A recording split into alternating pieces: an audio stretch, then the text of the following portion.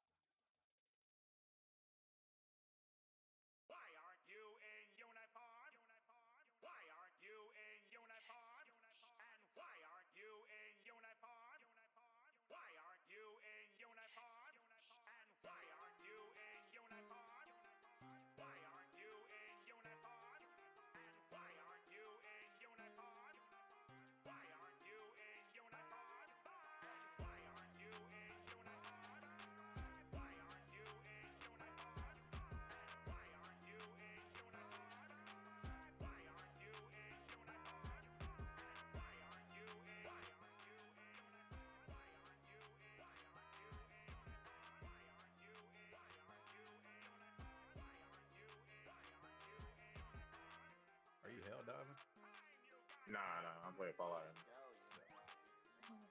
All right, y'all let me know when y'all ready. I'll start it. We're ready. Y'all ready? Y'all ready? Y'all sure y'all ready?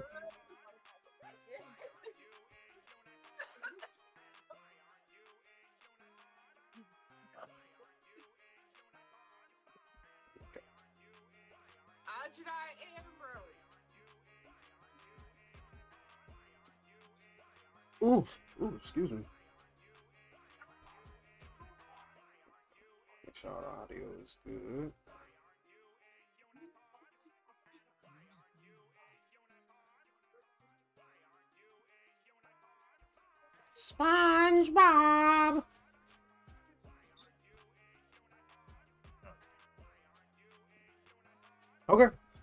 All right, I think we're ready.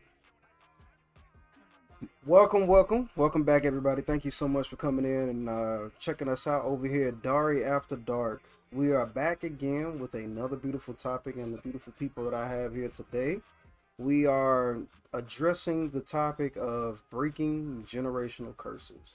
Uh, this is a topic that I think is one that is near and dear to me, but it's also a a circumstance that I think needs to be not only addressed but also um, something that definitely needs to be discussed and addressed in our community as well as with our people. So I have a few of the patrons from last time with us as well. If y'all want to introduce yourself again so that everybody knows who you are.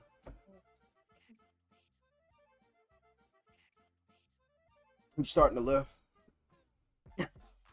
what what y'all doing, man? So, uh, if nobody want to go here. I had to leave. Hey, yo, this is Nigel. Nice to meet y'all. Artismo bread. Artismo bread. Yeah, I'm farting up a farm, bro. Got on here. Bruh. The phone mad close, bro. Right by the That's because you you really do be eating too much fiber, ain't it? Look. Yeah, we got Brick Squad in here. Y'all already know who Brick Squad is. We got Sax Boy on the side right there, aka Nigel. Nigel Diesel. we got RT Smoke Bread. We got my lady Sensei in the background with the the uh, cherry blossoms in the background, as well as Kamari, aka the what was what was that? What was that? The Dark Knight.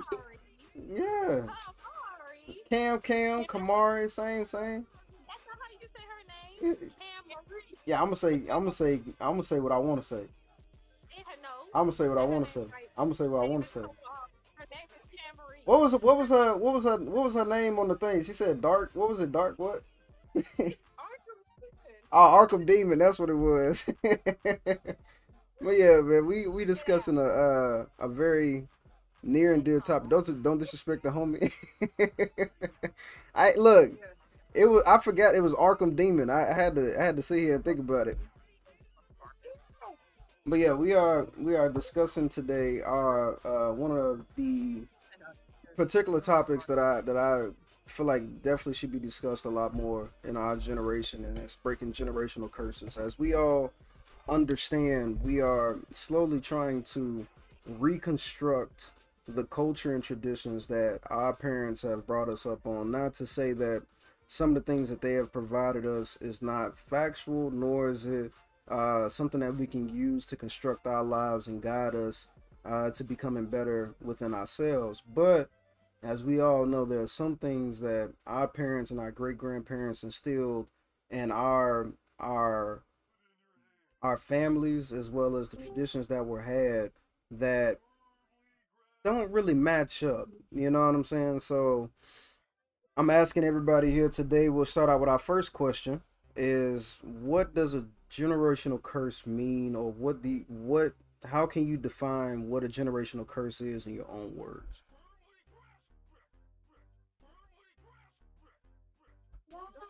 And look at little eyes. That's that's a that's an open question to everybody, so y'all can answer. It's Oh, go ahead. a habit or a or a lifestyle that is passed down um, from parent to child to parent to child, and uh, it's something that instead of people trying to stop it from happening when they know it's wrong. They just learn to accept it and teaching it. Cam Cam, I thought you was about to say something. You was about to say something? Basically say like it's basically um a negative that basically what you just said like it's something that's negative that happens from generation to generation something that uh, continuously repeats a cycle until somebody uh, steps out of that cycle of what of the taught uh, yeah like a bad habit Okay. like So the taught behavior Okay. So can y'all with that being said, I'm I'm like trying to for the people who don't understand cuz I I have I have viewers. I just found out that I got a viewer in Denmark. I, that was that was kind of wild, but somebody watches me in Denmark, so I didn't know that.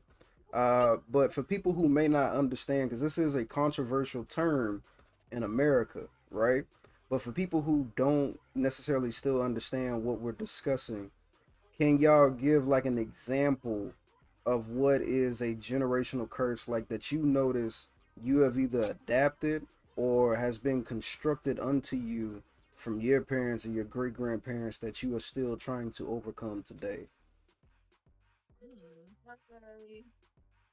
toxic masculinity Damn, that's how we go. That's how we go over. that's how we go over that. that's something that I have to. I've been trying to navigate um, since I had a son. Mm, Like I really started to realize how there's a certain like there's a specific way that people want you to raise your sons, mm, and when you don't abide by that, um, what ah job. and if you don't go. They got they got the kids, man. The kids are still up, so you, you gotta you gotta buy you gotta you gotta give them some time, y'all. But when you uh when you don't raise your kids the way that well your sons, it's specifically your sons. If you don't raise them the way that um other men want your son to be raised, then they call them like like different names or all different types of gay and all that stuff. It's so it's really really weird to me. And I'm just trying to get the out of the habit of him feeling like that if he's not this way, then he's not right. Well, let, let you know what I want to unpack that a little bit because that that is something that is a generational, it is a generational curse, and I understand. Like speaking from a man's perspective, there are certain things that even my dad raised me on, or my granddad raised me on, that I do find toxic, right? hmm But there are things that I think a man is just supposed to innately have for him to be masculine. Does that make sense? And I'm pretty sure the other brothers in here can back me up on that. So I kind of want to unpack that. What are give me like an example of what would would clarify or would classify as toxic masculinity? Um, okay, here goes something. Alpha versus beta. Okay, okay. Uh okay. Well, well, male thing. The whole alpha male thing. It's kind of Um, it's kind of dumb. Like I, I watched, I, I did a little bit of research on it, not a lot, so I can't you know, speak 100 percent factual information. But from what I've perceived from it, it seems like the term alpha isn't entirely accurate in how to determine who's above or below. It's just the toxic masculinity thing, essentially. It's like uh, the big macho dude. Like he, you know, he treats women how he wants to treat them. He doesn't care how other people think. He does what he wants to do in a way, the negative, some people see that as good, but it is not a good trait to have. You know, not a good way to move. You know what I mean? I I can yeah I can kind of yeah I can see where you're coming from. I think That's the simplistic. That's the simple. yeah way to kind of put okay. I I'll come I'll come back to that. I'm gonna put I'm gonna put that in the cursor up here. We're gonna come back to that. Mm-hmm. Give me Cam Cam. Give me an example, and anybody can chime in after Cam Cam. But give me an example of what you what you define as toxic masculinity. So the um, I had the other day I was talking to my father, hmm and I was telling him about um the toys that I had bought Aj for his birthday, hmm and he obviously is into monster trucks. He's into like all the things that you people would say are boy related, right? hmm And then I also told him that I bought him a kitchen set. And he was like, a kitchen set? Why? My grandson not gonna play with no kitchen set. He's not gay. And I was like, he's gay because I bought him a kitchen? I was like, Mhm, do you mm. not cook? Do you not know how to feed yourself? Like, he's not allowed to play pretend and cook. Right. Okay. I can. Yeah. I can. Kind. I can see that. I mean, because there, there are male chefs, right? There are people who. Right. uh, My cousin is a is a chef, and he's he's a man. So like, I I get that. That's a very yeah. When uh, my parents found out that Bluey was a girl and Bluey wasn't a boy, now he can't watch Bluey no more because it's a female lead. Like it just doesn't make any. He can't watch Dora to them because Dora is for girls and he needs to watch things that's for boys. Right. But if he like, but Dora is teaching you Spanish. Like right. Right. Okay.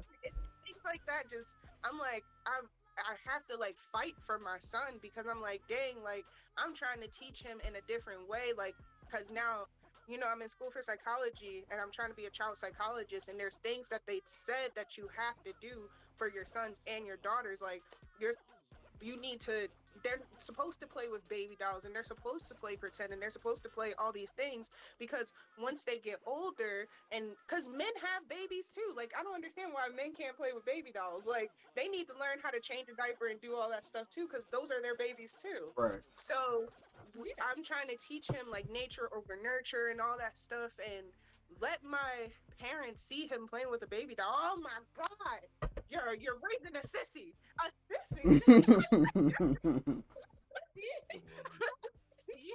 I also have him doing karate and I have him doing all that other stuff. But because I have him doing some quote unquote feminine things, he's gay. Like just Mm. and he's a baby. You're putting sexuality on my baby. He don't even know what sex he is. right. Yeah. No. I I can I can definitely agree to that. There was things that, and I'm pretty sure a lot of a lot of us can attest to it. Being a '90s kid, there are certain things that, and I, I think that's that, and that would classify as a generational curse, right? There are things that have, and uh, uh, there are things that society as well as tradition kind of derive, right? I mean, if you if you look back even just in historical texts, right, the men were naturally the hunters and the the individuals who would go out and provide san- sanction as well as sanctuary for the women of the tribe, right? That's just a natural order of things, at least from a historical standpoint, right? So that had to be, and this is why I'm gonna come back to Nigel, there had to be an alpha that led the pack, right? There was the biggest, strongest person in the tribe that would lead the rest of the men out to hunt these big gazelles and the mammoths. If that, if I don't believe there was people out hunting mammoths, I don't. That's but you get what I'm saying. Like there were there were individuals like the alpha that would lead the hunters into battle, and they would go and find the food and find the uh the next area for sanctuary and so on and so forth uh, to provide to the women of the tribe, and then they would come back and mate and so on and so forth to expand the tribe, right?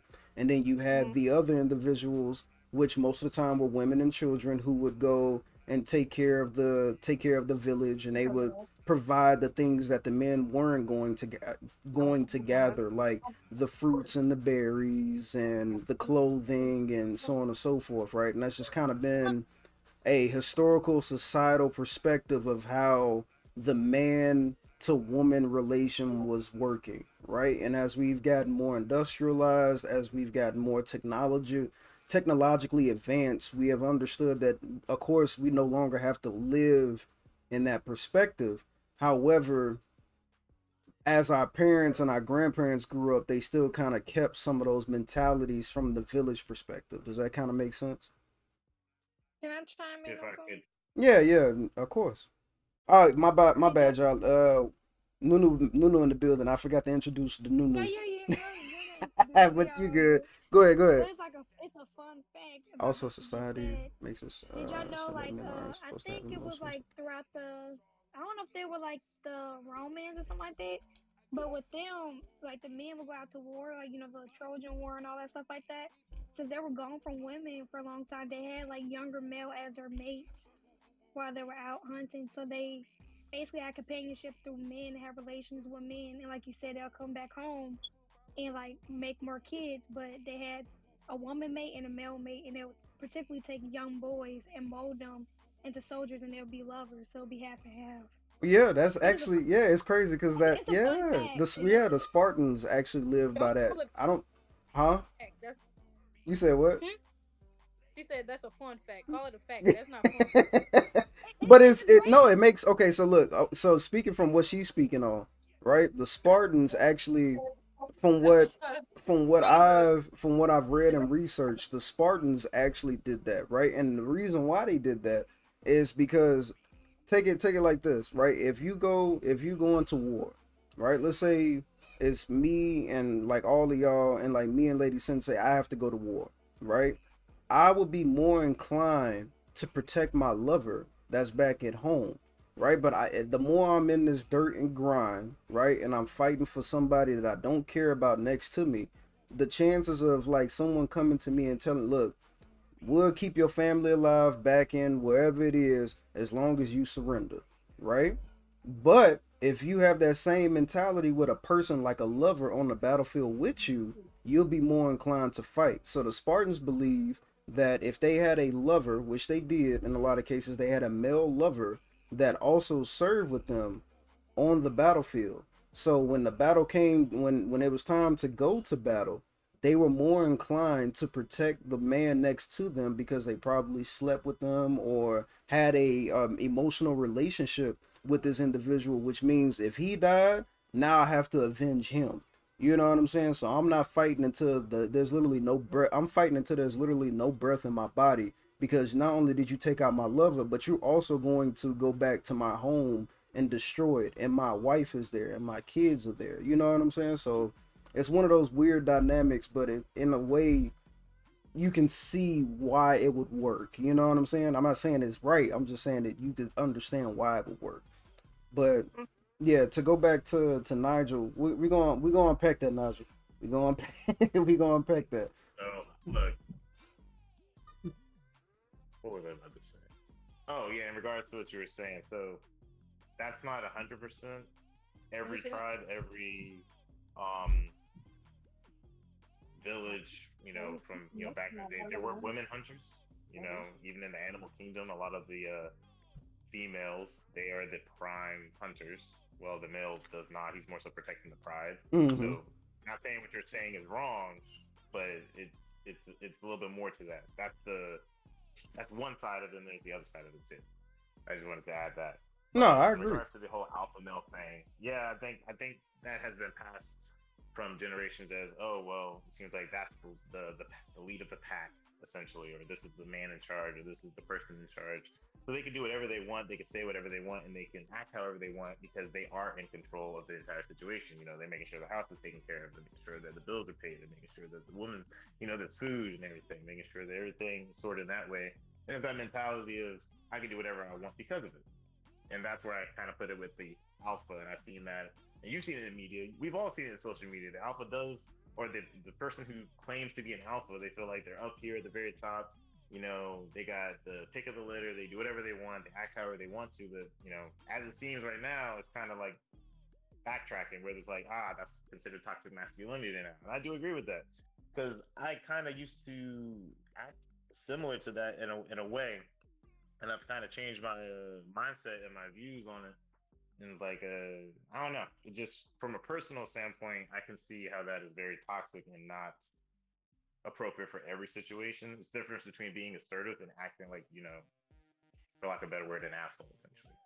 Mm-hmm. So I would I would counter that, and I don't know if Brick wanna wanna back me up on this, but I would counter that with the two things. There are, there are reasons for everything, right? And this is the reason why I like watching Joe Rogan because he brought this up, right? There's a thing now. There's a controversial the social media thing where now people like a lot of men are trying to be beta males right people are not striving to be the alpha male anymore they're striving to be the beta male right and the beta male is an individual who uh essentially doesn't live by the policies and the, and the laws of a alpha right? The alpha is the one who runs the herd, who runs the pack, who can be assertive but also extremely aggressive. The the the moral definition of what toxic masculinity I think is what a lot of women try to um try to define as an alpha male and men are starting to strive for being the beta male, which is kind of like the total opposite. If if you were to put it on a scale as far as like relation that y'all can understand, alpha male would be like the depiction of like the rock, right? The rock would be considered an alpha male, even though he doesn't have the personality of one. He would be the person, he would be the depiction of an alpha male. That is what people strive to look like and be like in in the perspective of the alpha male, right? And the beta would be someone like the beta male would be someone like Prince or like Black in in today's relation, right? So an individual who is who is is eh, more intact with both sides of his emotional elements, who understands that there are certain things or certain ways you're supposed to treat women and certain ways that you're supposed to treat yourself. But my argument, right, and this is me playing devil's advocate, right? But I'm also I'm playing devil's advocate, but I also agree to some extent that there has to be alpha males. There has to be a person like the special forces is a great example, right? The arm the military needs a special force team of individuals who can take orders, don't ask questions, who will get shit done and come home with as many people as possible knowing that the mission the mission is accomplished, right? And that's the same perspective from a societal standpoint that you need alphas. You need these people who are determined to achieve a goal and change the world in a exponentially uh expansive standpoint to make the world go round, right? Just like you need somebody to do the dirty work for other people to shine. Does that make sense?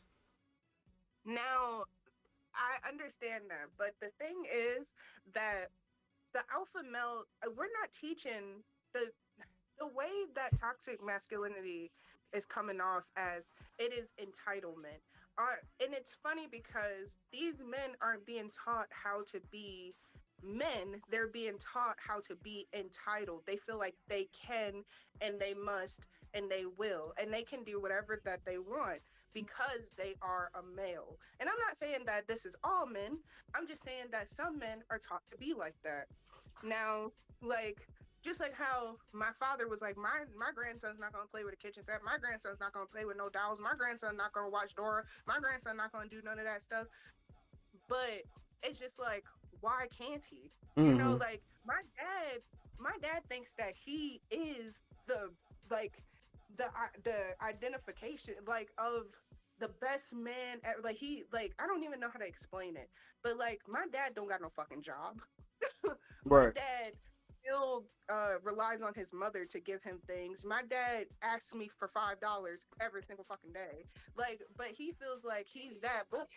Yeah, he feel like he that bull because he people know him on the streets or he don't take no shit Mhm. or you know he he can walk all over his family that's what he's trying to teach my son and that's not how i want my son to be taught like somebody should have gave you a fucking hug like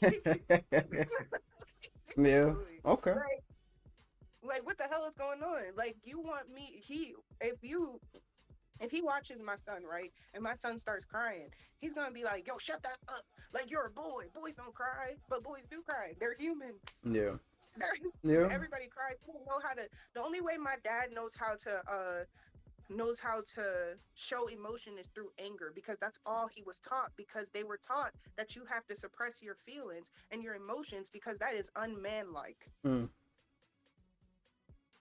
so like that that's what i mean by like toxic masculinity like I want an alpha male, but an alpha male don't look like nothing. An alpha male looks like a man who makes sure that his like make sure the house is good, make sure his wife is good, make sure his kids are good. He has to be smart. He has to be, you know, all these like all these things and then some. He has to be sensitive too.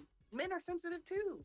Who So- like Then I will ask you this question and we'll move on to the next topic because I don't I don't want to forget where we are as far as what the topic is. Uh but I will ask you this question to kind of go towards your point and then y'all anybody can chime in. Then we'll move on to the next the next point. Um, with what you just stated, with men having having a a falsified understanding that there are more emotions than just anger, right? Do you find that you can still respect a man? This is the first this is the first part of the question that allows himself to show his emotions in front of you. The second part of the question is if so, if they come to you and decide to be vulnerable and allow themselves to be vulnerable with you, do you find that this person is less of a man or do you find him more empowered as a man? I, feel more empowered. Yeah, for sure. Because there's nothing like man to share his feelings. Exactly. Because then you won't have to walk on eggshells or like, like one thing that I told Cam is that one thing that he does is he hides his emotions, and then I'll find him in like a a room like drinking and going through all this stuff, and I'm like, dude, what the hell? Like, what? You was just fine earlier, but he's wearing a mask all day.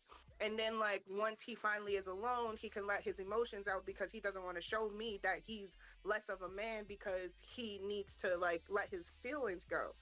Like I would rather you just tell me like, hey, this is what it is. This is how I'm feeling. I need a hug. I need to cry with you. This is what you know. Than to walk around on eggshells and not know what the fuck is going on in your head. Because niggas who suppress their feelings bring it Right. out like crazy. Right. Mel Mel uh Melly Melly put in the chat that uh she said that men don't understand is that we want y'all to talk to us. Be open and let us let us the fuck in. Right? That's what she that's what uh that's what Mel put in the chat. So I, I I can understand that, but I think and look, this is this is something that I think there there are certain there are certain things that I don't know, and that that may just be something that I have to work on, right? But I think there are of certain want to speak from personal experience on this. there are certain things that I feel like yes, you can be vulnerable about, vulnerable about, right? There are certain things that you can be vulnerable about, but there are certain there are certain things that you're not supposed to do in front of the woman that you're with or with another person. Like that's what the homies is for, right? You come and if I got some real shit going on, I'm real in a bad mental state, like there if I want to break down, I break down in front of the homies first. You know what I'm saying? Like I'll break down in front of the homies first. But that's more weird because you have an emotional connection with a man versus your partner. That's, that's my brother though. I'm looking at them like my brother. This is my brother. I go and break down in front of him. You, This is your life partner. No. You need to be more open with No. them so that y'all can work together. So you don't feel necessarily. alone versus your guy No. friend. Like your guy friends, like it, it's it's a connection because you both are male and you do understand the male struggle. But if you don't have that foundation I got with you, your Liv. wife, if you don't have that foundation with your wife and your lifelong partner and stuff like that, it'll cause a big division where like like she says, a whole bunch of misunderstandings and it's toxic because you always run to your male friends versus your woman. Mm. And y'all supposed to be y'all supposed to be you're supposed to be two different individuals, like coming as one. If you can't even be vulnerable with your woman, why you with her? Exactly. I got a 'cause question. Your man can't. Your Yeah. uh, male friends can't change how you feel about your wife. I got you, Naz. I heard you. What's what's your question? Well, uh, before before you ask your question, Lupin said that uh, there's the rub. Many women tend to discount and write off an emotional man. Then later, they'll bring up that conversation or emotion later as a weapon to destroy him. Mm. It depends on it depends on the Mm. lady. It, de- it depends. Hold on, hold on. We got we got too many people. I want to hear. I want to hear from. I want to hear from. Uh, I want to hear from uh, Artismo. Artismo bread. Your shit No, muted, girl. Oh, there you go. Okay. Uh, no, it's not muted, but that's true, and that's why, like we're talking Yeah. about toxic uh masculinity. There's toxic femininity too. Yes, there is. Men try to weaponize their men's vulnerability Vulnerable. Because they are taught genera- generational curses to be evil women. Yes. So that's how. And if that happens, leave that who. but Naja, what's your what's your question? Let's see if I can remember. Uh, it was in regards to the, you know, why you with somebody if you're not like wanting to be open with them? I feel like everyone has different relationships for different reasons. Not saying like Mm. romantic relationships. I mean, people you have different relationships with different people for different reasons. To expect Mhm. one person to be everything for you is kind of crazy. Mm. So yeah, I agree with Darius and say like you know I'll go talk to my boys about stuff I got issues with, but I will also talk to my girl about stuff I got issues with. Mm. But once my girl showed me a side, like as uh, Artismo said, you know, the toxic femininity. All right, so where else am I gonna go? I'm definitely gonna go to my friend. You know, you get so many mm. chances of me allowing myself to be open before you, you know, shut before I shut down and just keep it to myself, and vice versa. Yeah. It's no different than if the man doesn't make it a safe space for you. Are you going to open up every time you have an issue, or are you going to just find someone else to vent to? Same thing applies. But it Yeah. also, in a sense of, if that if you're my life partner, or if someone is your life partner, essentially, I would hope that you know that they're willing to talk to you. And if they don't, why are you with them? I agree with that for sure. Mm. But it's also in regards to like how long have I known my friends versus how long I have known you. You know, most times relationships aren't 20 years old, but romantic relationships, you know, they don't start out that way. They usually Mhm. start out you meet someone a year, two, three years in. Now you together, you know, you're married and everything. Versus I've known Darius 12 years, if not more. You feel me? I'm gonna tell him more stuff because I feel it's a, it's it's already a safe space. That space has already been tested, so I ain't I don't have to worry about that. But in regards to my relationship, as soon as I open up, as you know, someone commented, now what if that just you know gets thrown back at me? You know, what if now the situation is a little more concerning? I don't know how to maneuver that, so that might be the situation for that too. There's a lot of reasons, different reasons why people don't express themselves in that moment, hmm. especially with the toxic masculinity being taught to just suppress everything, which I was a culprit of, and I would just bottle everything up. Next thing you know, I snap as soon as hmm. something don't go the way I wanted to because I have not learned to express myself. Grandparents, parents, whatever. But now I'm working on that, right? It's just it's a it's a step by step thing, but that's just uh, I just wanted to touch on that. No, you you I, I do agree. I do agree. That's that's and that's my stipulation to the whole matter is like I think I there think that stems. Yeah. That stems from the toxic masculinity because, like, Mm. it, it's the way men are wired. Because you guys have so much pressure and expectations out of yourself that, like you say, you don't feel like even though you have a comfortability with a person you know for years, that you feel like the woman's gonna look down upon you and stuff like that. Well, women, we're gonna come to the man first before we go to our best friend if there's an That's issue because you are a rock. You even though like you say you have to be strong all the time and stuff like that, like we we're coming to you for a place of comfort, and if you can't comfort us and like you're always being strong, it's kind of like talking to a wall. We won't feel comfortable to constantly come talk to you. It's like you're discarding our feelings, like we're too emotional. So if there's a there's a level of um balance between the relationship where you're able to be vulnerable with this person and you know like um you could be like emotional with this person. Like basically like you know this person's gonna keep you level headed but also gonna meet you where you need them. Because like a woman needs somebody who could be vulnerable with them. Like i'd rather confide in a partner than a friend. Because a friend like like you said you can know a person for so many years but a friend and a lover like you always get another lover you always get another friend and stuff like that but when you're looking for a lover you're looking for a lifetime a friend it can end whenever same as a relationship but when you look for a life partner this is like your mate this No, is no. somebody you're not trying to give up on no no. The chat What? the chat calling cap on you, man. The chat calling cap on you. the chat said cap. That's big cap. That's major cap. I don't. I, don't know. I, I I do agree with y'all. Lupin her. You know what I'm talking about. Lupin asked the question: Is it us giving giving us that pressure, uh, giving that pressure of an expectation? Meaning, and I think what he's trying to ask is that is it us as men that are making or putting the pressure on each other that yo you shouldn't open up to your girl like that makes you look weak, that makes you look soft. Like if you got some real shit going on, come and talk to me first. You feel what I'm saying? I think that's what he chum he, that's what he's chiming in on.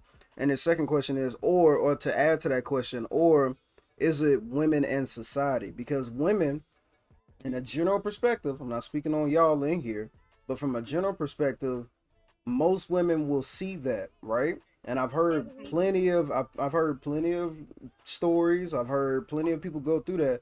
They will go and be like, I've been with this girl for a year, right? And I just lost my job. Yo, Brick, you remember that shit you sent to us in chat? Old boy lost his job, right? Old boy lost his job, and his wife, they were married. His wife because he lost his job, decided to leave him. Now we don't. I don't know what else was going on in their relationship. No one knows what else they had going on in their relationship. But she decided to go on a date with his friend, and now him and her, or her and his friend, are now together, and she left her friend, right? So that would be a situation where he probably didn't feel like opening up to her and telling her probably in some circumstance and i'm using this as an example because we don't know exactly what's going on but using that as an example he probably didn't come to her and let her know hey baby i lost my job or there was a situation like baby i just gotta wait for me to get back on my feet just you know what i'm saying just work with me i promise you i'm looking for a job right and she decided to take it upon herself to go and get with her get with his friend that mm-hmm. i guess had a job you get what i'm saying Wait a minute. so oh, a oh, That's that's the hoe emotional. from the jump. You the hoe from the jump. That's all that was. You the hoe from the jump. Pretty much. It's it's emotional immaturity. But but but he was trying to be vulnerable with of the day. Emotional mm. immaturity. right, but he was trying to be vulnerable with her, and he was at a he was in a situation that he had to bounce back from, and he needed support from her, just like most women need support from us, right? He was up From us as men. How to tell you? Use a different example. That's not a good one because you don't know.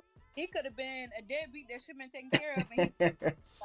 I mean, it could be that. It could be that. Uh, but just just from a general perspective, asking what Lupin is asking, right?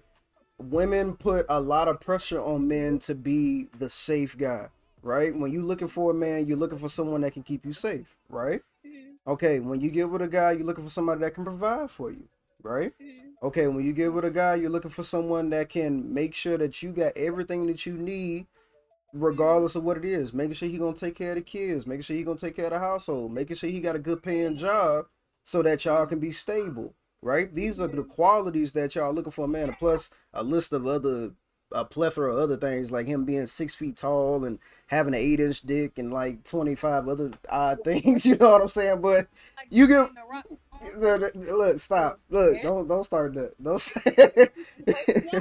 Yeah, I, I get your I get your statement and stuff like that, but that goes back to like like maturity. Like Hmm. this whole toxic masculinity and then toxic fem whatever that word is. It's all Femininity. about how how far you are intel like how intelligent you are with relationships and how you handle things. Mm, if you pick somebody who's not where like a lot of people like we talked about last uh discussion a lot of people can't meet you where you are if they haven't been in that situation or if they're not even um they haven't experienced something like that so that goes about your choice in partners and the the uh, choices you're gonna make to make the relationship work and stuff like that. But a lot of people, you will know if a person can meet you where you need them based off of certain situations. So I You can't base that off of just general things like that. Because like, that, that, I'm just saying because No, no, I- I feel people you. being toxic and who they are, yeah, and men or women being scared to be vulnerable with one another. But that just means that person isn't for you, or you're just not on that level with that person to be comfortable. So that means you didn't you didn't pick a better choice of a partner. yeah, I agree. I Like, Lupin, Lupin still calling Cap in the chat, but we gon' we don't let it go. Lupin still calling Cap in the chat, but we, It's true. But I I'll let Cam Cam uh Cam Cam you can real quick, and then I'm a, we gonna move to the next topic because I don't want to lose what we what we got going on. Go back to like the whole breaking the generational curses because this is something that was taught. These behaviors were taught by parents Mhm. who also feel the same way. So you can't just be like, oh, like that, that's what that's where all the breaking the curses and stuff come from. That's why I'm trying to teach my son, like, hey, no, this is not how you're supposed to be. This is why I'm trying to teach myself, like, no, it's not weird that a man feels this way, or it's not weird that you want to like talk to I mean, like, I, I understand, like, the whole, like, I want to talk to my friend before I talk to you type situation because women do. I call my girlfriends when, uh, freaking Cam's getting on my nerves, and I'm like, yo, let me tell you what he did. Da, da, da, da, da. So, why is it different if a man were to do it? Mm-hmm. So, Be that double I don't know. standard situation. Yeah. yeah. See, and Like, that, it I always I come back. It's like go to your go to your wife first, but also sometimes you don't know how to speak to them in that moment, and you have to speak to somebody else. Mm-hmm. Mhm. Yeah. So let depends- I me think, I think it depends on the person. yeah let me let's We'll we'll come we'll come back we'll come back to that. I don't want to lose what we what we're trying to achieve in the night. Mhm. We'll come back to that. So, my two questions that I will put to y'all is the first one is Do you notice others, like people around you or people in social media or whatever it is? You can give an example, and I want you to give an example of a generational curse that you have noticed, right? And then the other thing to add to that question is what give us all some examples of some generational curses that you are aspiring to break. I know Cam Cam, of course, presented the situation of trying to uh, steer her son from toxic masculinity, but let's not just focus on toxic masculinity. There's so many other things that our people unfortunately have bestowed upon us as children that now have to teach other children to strive away from. So the first question is do you notice other generational curses around you? And then what generational curses that were bestowed upon you that you aspire to break? So Ziny said that um beating beating your kids, like learning to communicate. no, no, what you made that face for? What was that? What was Some kids, that? Some kids need a whoop. Some kids need an ass whooping. I will tell, look, somebody, hey, I don't care who clipped this. Some of y'all kids need a whooping. Like the Yep, I agree. when we were kids, like beating the crap out of us for like doing something simple like not washing the dishes. I didn't deserve that type of like like I stole something. Well, did hold- wait, hold on, hold on, hold on, hold on. Did your mama tell you how many times your mama tell you to wash them dishes? How many times your mama tell you to wash them dishes? Did she say did she say wash them dishes and then she whipped your ass? Or did she say, hey, before you go to bed, wash them dishes? Then you then you went in went into bed and all that. And then came back, she's like, wash them goddamn dishes. I got a worse one. I forgot. Look, I got a worse one. I got a worse one. I was six, right? 6 Mhm. or seven, and I was at an after-school program from my from uh from my school. I forgot my jacket. I left my jacket. You know what happened when I got in that house? They beat the dog shit out of me. It was crazy. Wait, what happened? Whoa, wait, what? Hey, Jackie, I forgot Jackie my got whooping. jacket. I forgot my jacket. I walked home and they and, and I was cold. And they got so mad that I left my jacket at a place that they sent me to for after school. Uh huh. They beat my ass for it. Yeah. My. Your ass wasn't supposed to leave that jacket. They spend good money on that goddamn jacket. That's the point, though. That shit crazy. though. They spend That good money on that goddamn jacket. You lift that jacket. That was a fifty dollar goddamn jacket. They did. It was a five dollar jacket. What no damn five dollar jacket? Where they getting a five dollar jacket at from? Where they getting a five dollar jacket, Nigel? Who buying five dollar jackets out here? Thrift store all the time. What you mean? Ain't no damn $5 clothes. Ain't nobody buying no damn five dollar jacket. Y'all know no You don't know my parents. I don't want to hear that crap. You don't know them. You don't know them that well. I met your dad. I ain't never met your mama though. No, my like, mama all penny jokes pincher for sure. So like, All jokes aside, like we we definitely used to get our ass beat for things that we could have just had a conversation. It could have just been a Mhm. whole conversation. Like I remember, like one time I had got my ass beat because uh my sister drew on the TV and nobody knew who did it. I told her that I didn't do it. Nobody could figure out who did it. So she beat me and she beat my little sister all because she felt like it could have been one of us. And it wasn't me. that wasn't me. And then guilty after by I got my association. after I got my ass beat, my sister says, "Oh yeah, it was me." Do you think that my mother gave me an apology? No. She said, "Oh well, I'll talk to your sister about that." Yeah, Ivory, you was about to uh, RT RT small money. You was about to say something. Uh, the the thing is cracking up. Uh, look like you was trying to say something. No, I was just agreeing. I got backhand smacked for eating the last piece of chicken. You took the last piece of chicken though. Like seriously, They can't get no- Wait, what what piece? Wait, wait, which piece was it? Which which which? Hold on, which piece was it though? matter what piece it Wait, was, which I piece? got backhand smacked. Are Do y'all listening? For eating the last piece of chicken. You spit it back out. what? Y'all not back up on me. You ain't What? my ass. See, look, look, you, look, so, damn. I'm That's bringing that chicken back up. You want that back? I that bitch. You just, you just hit me because I ate some chicken because I was hungry. hey, 'Cause I every, was hungry. every time I saw eat, I'm watching a mad foot boy. I'm trying to tell you, boy. Ooh, that'll piss me off. I got some. Uh, I got a list I of got- I got my- curses. You got a list of what? I got a list of the gener- uh, generational curses, like uh, examples that we could all chime in on. No, stop, stop. You let me do what I'm doing. You No, let no, me. no, I'm saying, but like you know, like to bring in the conversation Oh, you because a lot of us are we are Yeah. really I starting around. So I was gonna get like a topic or like name one and go pitch in on that. Look, you, you trying got to one. you trying to take over? guy- got is one. it? Oh, Force- just like a good- especially in the black community, Mm. Forcing children to grow up too motherfucking fast. Period. Okay. That is that happens. Don't let kids be kids. It's crazy.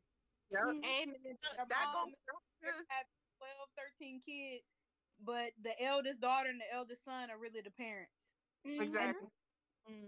Sit up there, take care. Okay. I'm glad someone said it because I, I didn't feel right speaking on it. I, ain't, I don't got I don't got kids. I don't want to speak on that one. So that's that's a huge one in the black. That's That's so true. And that goes back to what I said earlier about how I was like, I, I buy my son like kitchen sets and all that stuff, and they're like, oh, he's not supposed to have none of that. But what? Or like, okay, so my son was take. I took um him on a baby prom, right? Mhm. And my Mhm. parents were making it like, oh, he was looking at this little girl, and he he wanted her oh so bad, like she was so cute, like you could tell that he's gonna be he gonna be a panty dropper. He's one. He's one years old. They him already. That's. Okay, okay. I think we're losing. I think we're losing the point of the question though. And no, no, that's fine. Give me, give me an example, Well, right? I mean, we can elaborate on Ivory's. Well, no, I yeah, yeah, I, but the question was generational curses that you aspire to break. I think y'all y'all are just listing y'all are listing generational curses. What are y'all trying to fix in your life now? What are things that are affecting you that you need to gonna make fix? I'm not saying that's not one. I'm just saying what are things that you have that you have been affected by that you're trying to fix. No, you good, Nigel. Go ahead. Go ahead.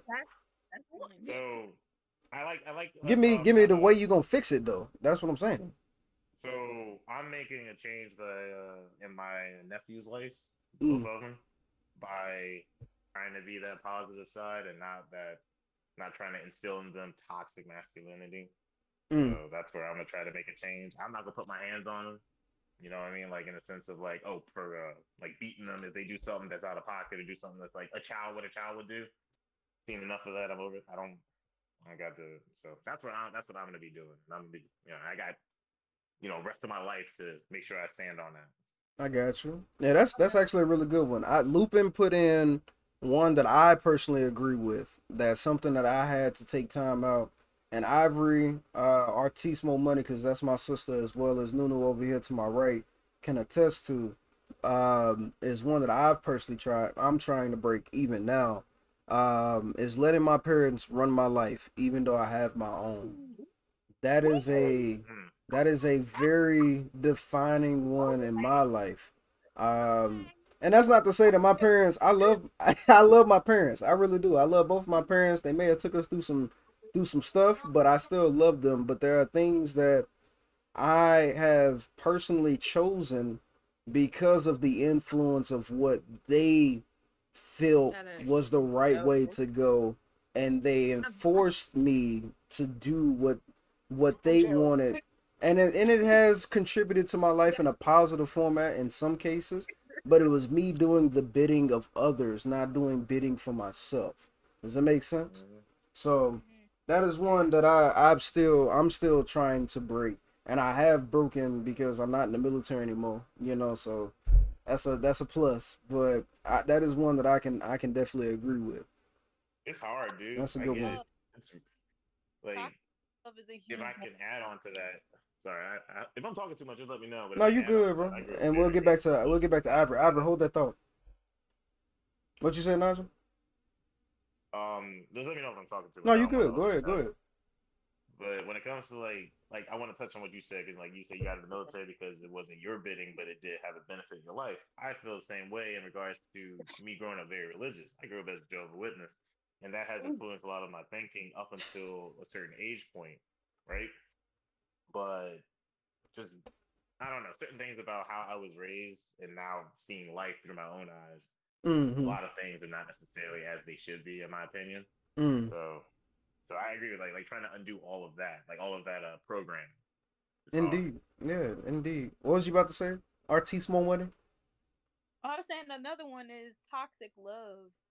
That's a big Mm, yeah, that's a, yeah, okay. Yeah, yeah, I feel that. love is the best love. Yeah, get out of here. toxic love is one. And it's become it went from being something just you know like in certain communities to something that's a trend now, Mm. and that's something I think we definitely have to work on stopping. What's that? What Blueface? Yeah, And it's Blueface. You better stop when she find you. Then. she gonna go get my ass. You better she gonna show up at the door. I'm I'm gonna send Lady Sensei on her. Look, hey, look, I ain't look. I'm gonna stay in the back. I will beat my ass before I fight her. I'm not fighting her. I will beat the fuck out of her before I fight her. hey, Chrisean strong. She look, she look like she's strong. You know, She that strong. Toxic She a straight linebacker. I'ma shoot. She gonna get three hot ones. Fuck that shit. I'm not fighting that big bitch. Anyway, let Ivory finish. yeah, yeah. That was it. Yeah, just break it. That's a big one. I try and work on that in my own relationship life, trying to learn because a lot of my relationships stem that I would feed off of being argumentative, being mm-hmm. negative, using toxic femininity. But I'm trying to work on learning how to stop that for myself, so that when I have kids, I don't be the same. Like- Nunu, why you making that face? Nunu saying it's cap. Look, Nunu got that face like it's cap. Straight cat. We'll end it right there. We, we don't A do lot of my this relationships, I now.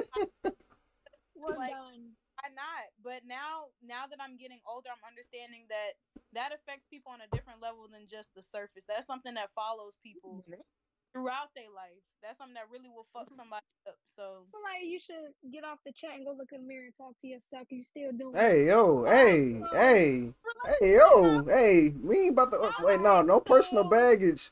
Why we up in here? Y'all do that. Y'all do that offline.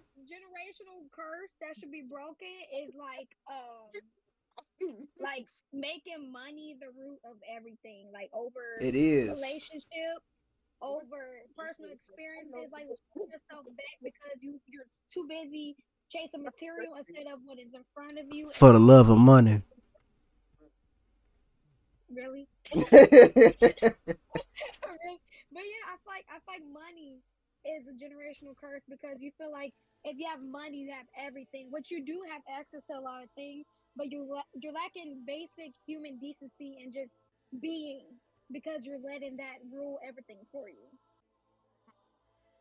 I, I can kind of. I can kind of agree with that. I think um I think and Lupin I'm I'm about to message you back. I I, I want to get my thought out first before I uh, before I transition.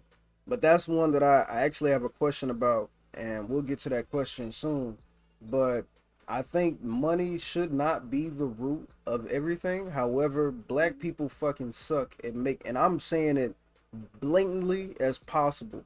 Y'all suck at managing your money. Let's just be real.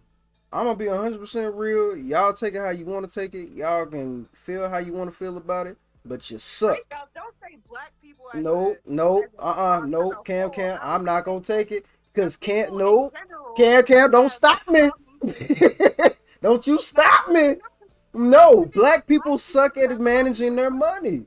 Black people, yes, they do, a hundred percent, a hundred percent. And I'll stand on that hill and down it, a hundred percent. we try to showboat something we don't get just to just to pose. Exactly. It's don't it don't make no sense. We gonna come back to that. We gonna we gonna come back to it. We gonna we gonna come back to it. It's okay. We gonna come back to it. I'm telling you. People who have problems with their yes, yes, a hundred percent yes. But we'll we'll come back to it. We're gonna put a pin on it. We're gonna come right back to it. I promise you. I'm trying to tell you, just try to start shit. All right. but my next question to y'all is do you notice generational curses in our media? And I have examples, right? So we'll go down a list of examples. We'll start out with TV shows and media in general. And then I broke it down into culture and music. So we'll start out at, at media, and then we'll go to music, and then we'll go to our culture, right? So we'll start at media and some of the list some of the examples that i have here right? It's that new Good Time show on Netflix, The Cosby Show, Will and Jada, R. Kelly, and Katt Williams. So y'all take that, y'all take that how y'all take it, and y'all answer the question based upon how y'all feel about it. Well, what's the question? Yeah. Do you notice generational curses, or what type of generational curses do you notice in our media? Based upon Um, those examples. Generational curses. The only thing I will, out of all the examples that you gave, I think that R. Kelly would be like the biggest generational curse because number one, if like you went back and watched like his documentaries and stuff, like as a kid, he was sexually abused. And then him being sexually abused caused him to drop out of school, which made him illiterate, which made him like, yeah, he got into like media and all that stuff and he made millions of money but a lot of people took advantage of him because he was illiterate because he didn't know much. And then because of the things that happened to him as a kid it caused him to be this person who was more so power hungry and he would prey on weaker people because that is something that happened to him and nobody was like nobody was there to protect him not even his mother and i'm pretty sure that if he told his mom what was going on and usually when it comes down to men who get sexually abused, you're just like, oh, what? You got sexually abused? Like, especially in like the black community, it's just like, oh, so who cares? Like, get over it. If that makes sense. Yeah, no, I can. I eh, from an R. Kelly's perspective, I think there were things that happened to him, like you stated earlier, that definitely attributed to the things that he did, right? As time went on. However, however, the the the the stuff that he knew that he was doing to like those underage kids, he knew was wrong. He knew there was nothing right with peeing on a 14 year old kid, and the black community failed him a hundred percent because they found out this is twice right before he went to jail for the new sentence. He did it twice, and black the black community still supported him, listened to his music, still gave him money, went to his tours, went to all his stuff, and that's why that's why we having this conversation, right? Is because somebody could have saved R. Kelly when R. Kelly was 22 years old. It, it didn't have to be his mama. It didn't have to be his manager. It could have been dude down the block on on the street. Instead of dancing to his music and stepping in the name of love, they could have saved that man when he was sitting up there doing that stuff at 15, 16 years old. Because I guarantee you, stuff like that don't just start when you're a big name a big shot, right? In in the industry and you making all this good money. That it don't start there. He was probably messing around with kids or messing around with women that was younger than him when he was 18 and they was 14. Do you get what I'm saying?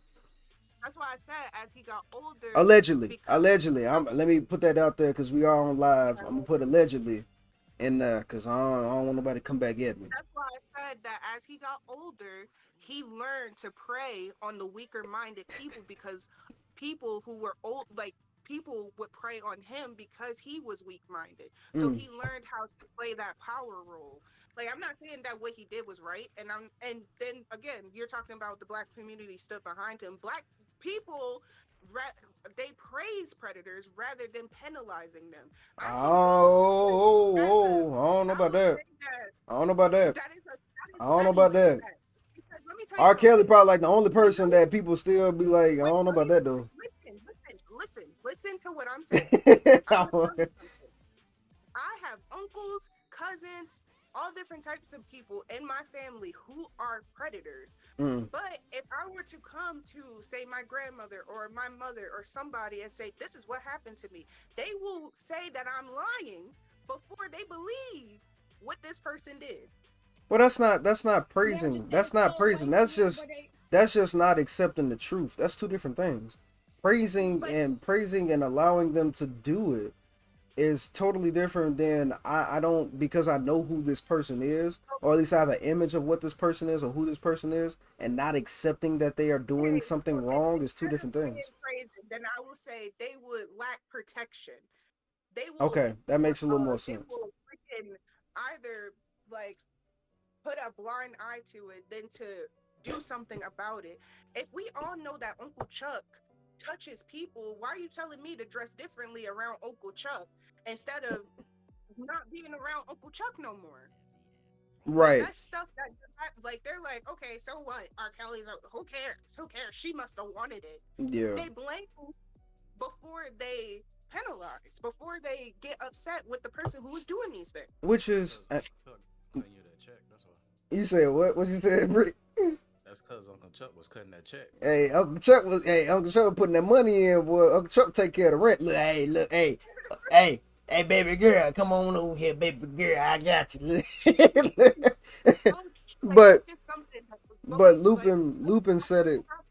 Yeah, Lupin said denial is different than condoning behavior, and that's what I'm trying to get at. Denial, denying that that person will do something like that or is doing something like that is way different than condoning it. And I, I agree with you, Cam Cam. I, I I honestly do. Like I think people condone they will deny it because they don't want to face the fact of it. Do you get what I'm saying? I think R. Kelly is one of those people that we condoned it because of what he was contributing to black culture. And that's wrong. Do you get what I'm saying? This man was doing this stuff for so long and nobody stood up or tried to get him help until it was basically over and done with. Do you get what I'm saying? Now he's sitting behind prison cells or prison bars and he could have been helped a long time ago. Do you get what I'm saying? So he was a face of the community. He was a black man with money. exactly, That, that's all they would worry about. exactly. Somebody representing you, but he was sick.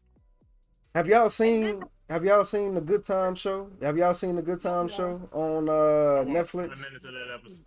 Five, five minutes of the first episode, I could not I had to turn that shit off. It was pissing me off too bad.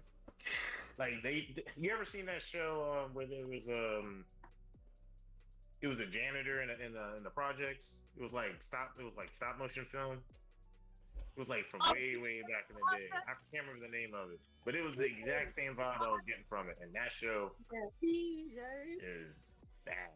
Like Oh, the it's just, PJs wasn't. See, the worst part of our culture yeah. is what they show in that show every day. So I think, and that that's the thing that that I find that's that's the reason why I couldn't continue to watch it. Right? Is that the PJs when the PJs came out, right? That's There, what I was talking about, the right. PJs, yeah. When the PJs came out, that was the early 2000s, right?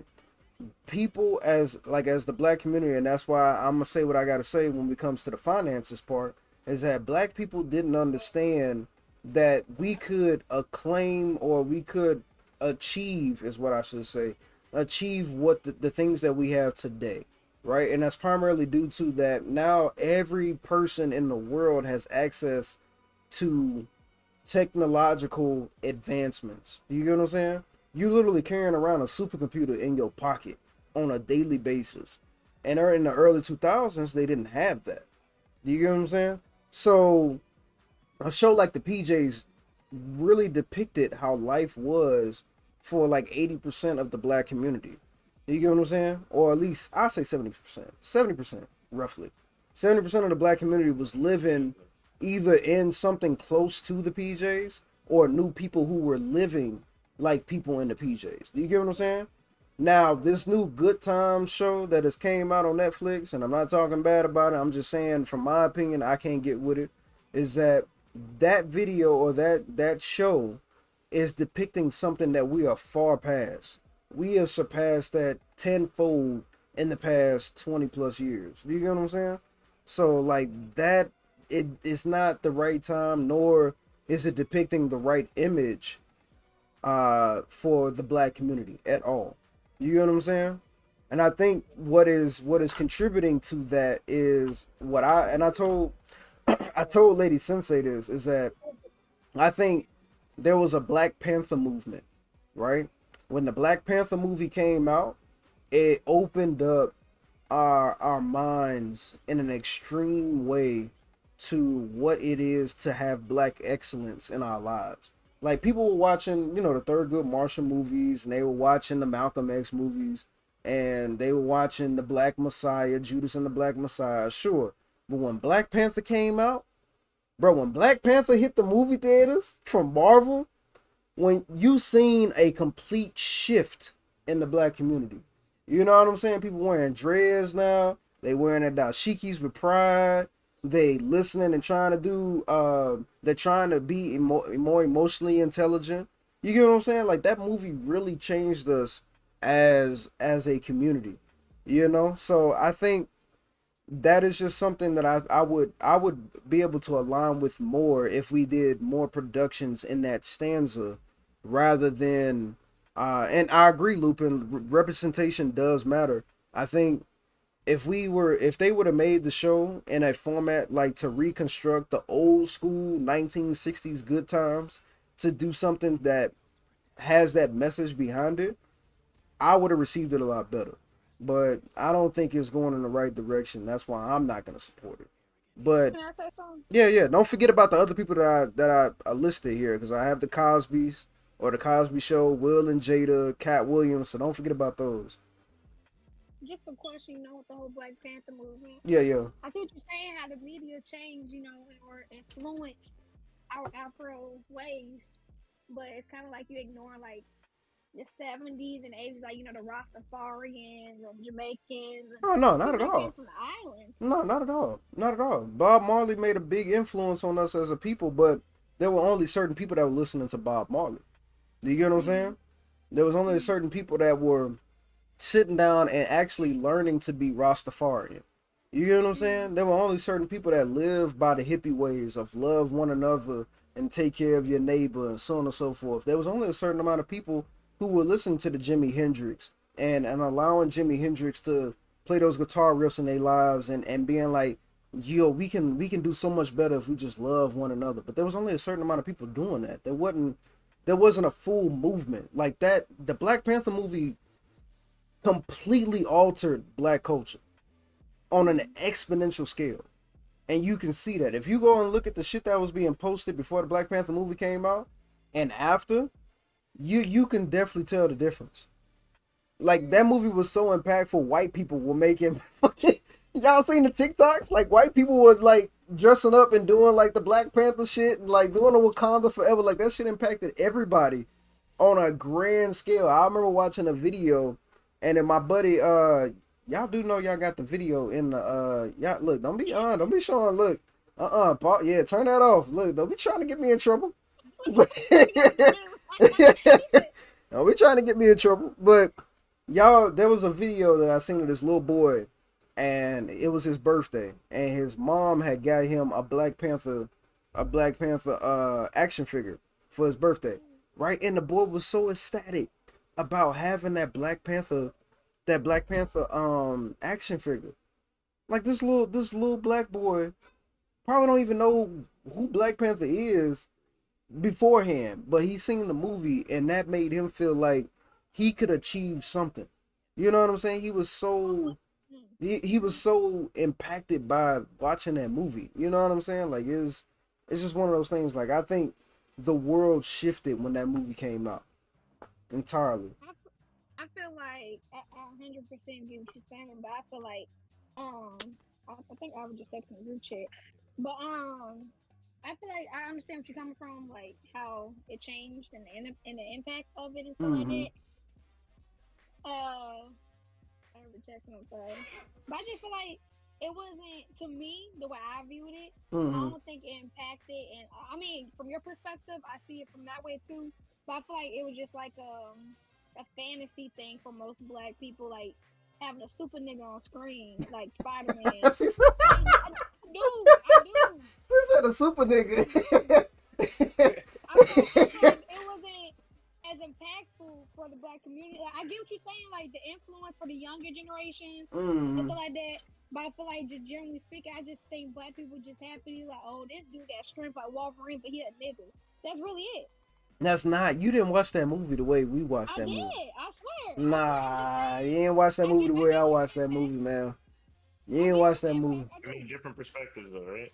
I mean, that is true. Yeah, and and I- I, and I Nunu. kinda agree with her perspective, though. I think it's just. um, Ah, yeah, bro, you gotta go, yeah, man. that- You gotta it. go. I don't see, I don't- can't be past that right now. Maybe I gotta watch it a second time. This man got a melanin shirt on, and he talking about, yo, yo, what? Man, I got this shirt on. Look, before you say anything, I got this shirt on because I went to the African American Museum last year. All right, that's why I got this shirt on. right? Man, you can you can talk, you can say whatever you want to talk, but at least I went there. I saw that. I, I did that for the culture. So I want to hear that. But it took me a long time to see Black Panther, though.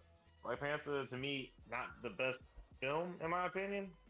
So again, I think it's just a black a black dude on screen with powers, in my opinion. Like it didn't do nothing for me. Yo, I gotta go. Damn. I gotta go. Nah, bro. Like I, I get what he's saying though. I like hundred percent get what he's saying. Like when it's the younger kids or like some people who like me, I always had an image where like you know like when you're growing up, your mama wants you to look natural, embrace your naturalness and stuff like that. But it's like I always felt pretty with my hair straight, not the European way, but I guess you could say like the way they want us to look. And to me, I felt most pretty that way. So with like even seeing stuff that's empowering, like you know, for the black image, I feel like it would to me it was just a fantasy movie versus like oh like black women are powerful, they're bald head, and I'm just like oh they they they can whoop ass with spears like Africans and shit. Like that's just the way I looked at it. Like with me, I just it never really empowered me to be like proud of who I am because I already know who I am, but I know what I'm comfortable with. You know what I mean? But for other people out there who do want to learn more about themselves and you know how they give us that image about Africa being poor and shit like that. I can see why most people will get excited because like, damn, we might really have some shit over there we don't know. We might just have some powers and technology we don't know. Like, yeah, to look at the bigger picture or look at the small details, yeah. But to me, it was just like you know, just black people, you know, being cool, extra super black people. Yeah, bro, I uh, agree with her, bro. Friday. Shut your ass up, nigga. no, bro. And that's that's the thing too. I will I will get back to that. I think we we have Uh, a movie that inspired me, what's that? the movie that inspired me was uh Django? Will Smith. It was um. What was the name of If you movie? say that Uh, goddamn, if you say that motherfucking enslaved movie that he did just like a few years ago, I'm I'm gonna I'm gonna kick your ass out. I know what you're talking about. He had two powers. Oh, Hancock. Oh, Nah, nah, nah, nah, nah, nah, nah. What inspired me was um, what was the name of that movie? Jake- He had a, Jake- he had a son with him. He had a son with him. He was like trying to like you know be a Happiness, door to door salesman. He was trying. Oh, the movie that did terrible. The the goddamn After Earth shit. After Earth something. no, no, no, no, no, no. Oh, Pursuit of Happiness. It had, Yeah. yeah, there we go. Pursuit of Happiness. That movie inspired me because Yeah, that's- that's a good movie. That's a good every movie. fiber of his being to make sure him and his kid made it. Yeah, I mean? yeah, that's a good So movie. to me, that's inspiration.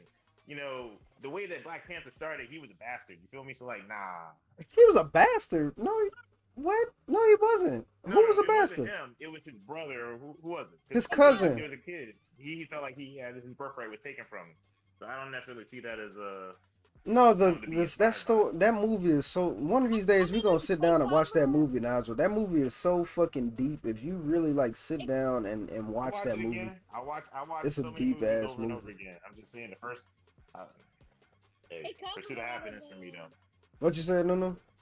it covered a lot of stuff like like you said like um rivalry between like um like entitlement or like birthright about jealousy about potential of being something great i get that but like i said like I, like you said, I'm just talking about the movement part. I get the, the the different parts and different things they were trying to cover in the movie, but like I said, I just saw it as a fantasy movie, just like um, I saw like uh Captain Marvel with the lady, because you know they try to do like uh feminist stuff, like oh women could be powerful too and whoop ass. She just a super bad bitch. That's really it.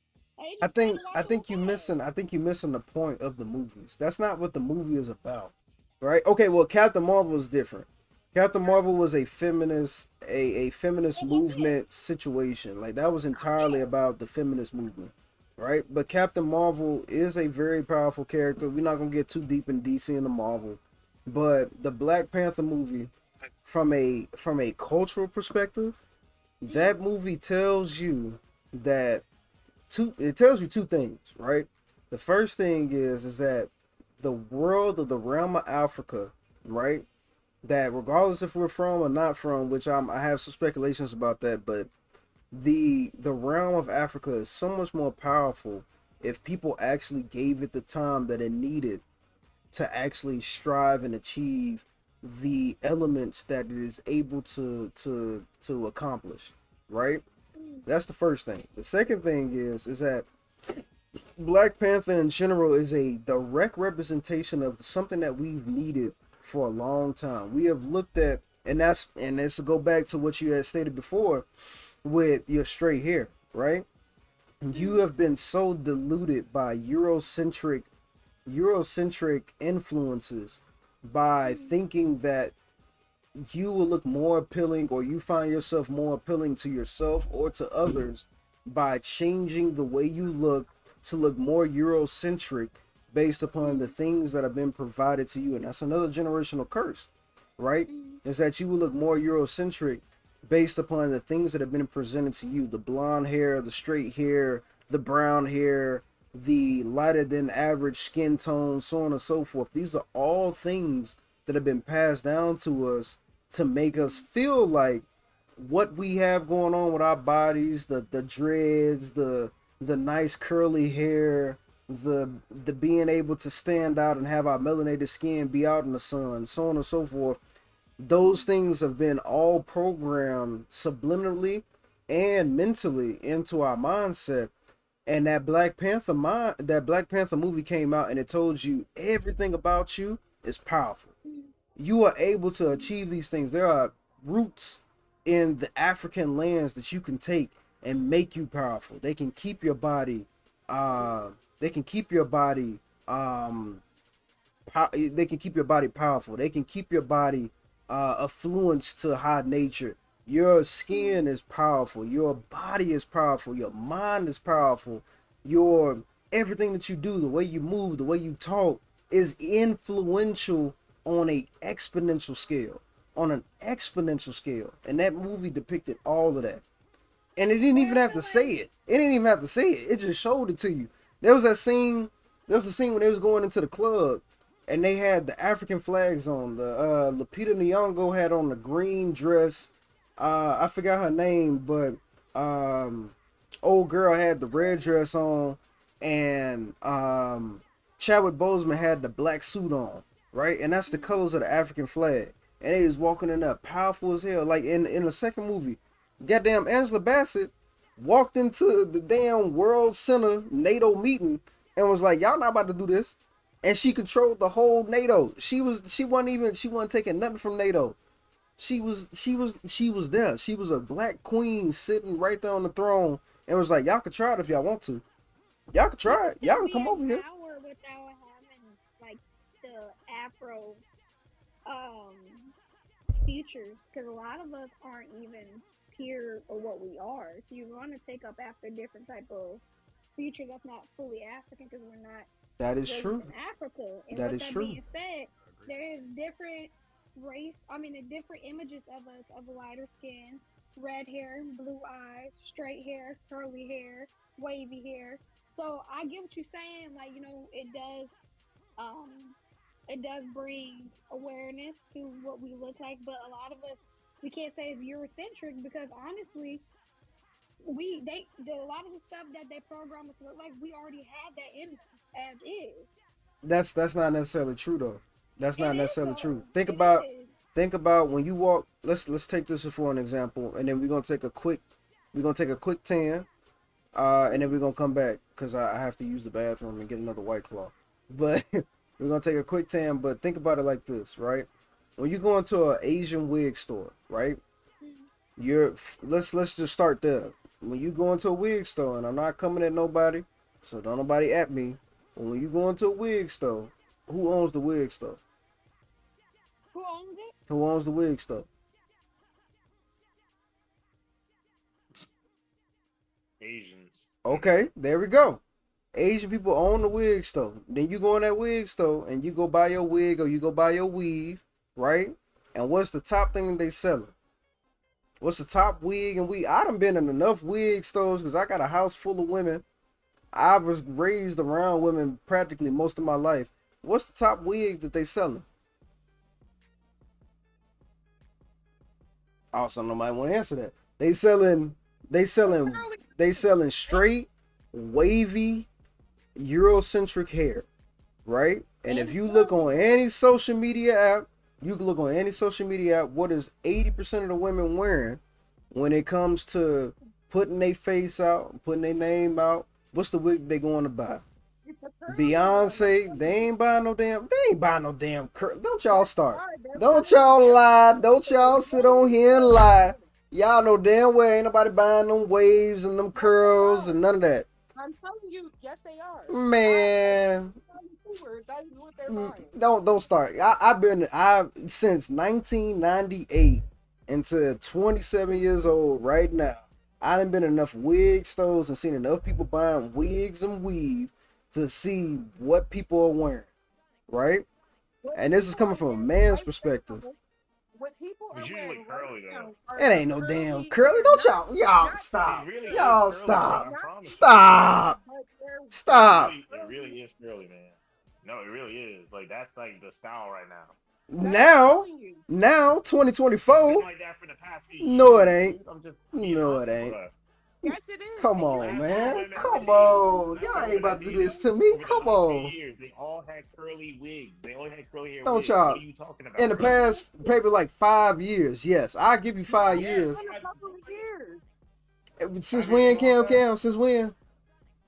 Correct. I didn't Okay, think- so think it's five years ain't I no was time. saying, starting in like 2008 had to been 2008 2009 Man. curly wig but it's not the kinky curly wigs i will tell you that it's like the Brazil- brazilian curlies or the big Exactly. curly hair like that's the only Exactly. thing i will agree with you with but i'm telling you nobody's wearing straight hair no more It's probably not now. Yes, hundred percent. I will say I will agree with you. Not now, of course. I will definitely say not now, and I think that is a direct contribution of that Black Panther movie. I would I would definitely put it towards that Black Panther movie. But since I grew up in 1999, right? I was born in 1996. From 19, from me being able to see, I would say around 1999, from me being able to see and understand until now, the dynamic did not change drastically until that Black Panther movie came out. And what most women were purchasing, what most women were purchasing, were those straight, straight white women or Caucasian women or European women hair, as straight as they can get, right? Or they would get the blonde hair, or they would get something that aligns with the Eurocentric values or the Eurocentric influence of a woman, or what was the status quo of what a woman should look like to look attractive and impressionable in a societal standpoint until now. I done been in enough wig stores. I get I can go in a wig store right now. I, I guarantee you the first five wigs you're gonna see is wavy with straight hair, and it's gonna have blonde tips on it with brown brunette hair going down, or it's gonna be straight blonde, or it's gonna be straight brown. And then you go back to the back, they got all the braids, they got the kinky shit in the back, and then they got some of the stuff in the front. But that, that aligns with what our next topic is going to be in the next 10 minutes is what people are wearing in the rap society. Well, we're going to come back to that with our music. So give us some. I know you feel like the natural hair movement didn't start until Black Panther, but that is so not true. Yeah. That is not true. Shit. That- Shit.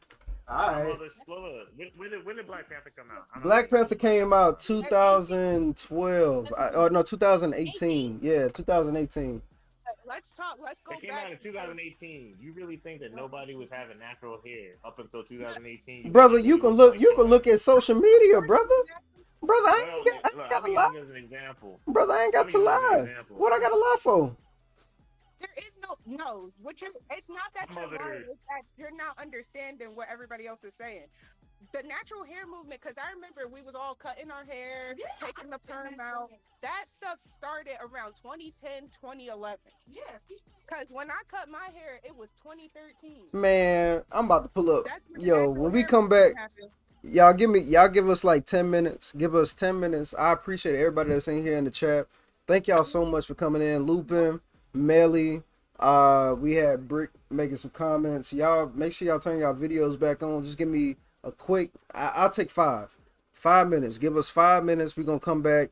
Everybody mute your mics if you're gonna say something or do something outside of here.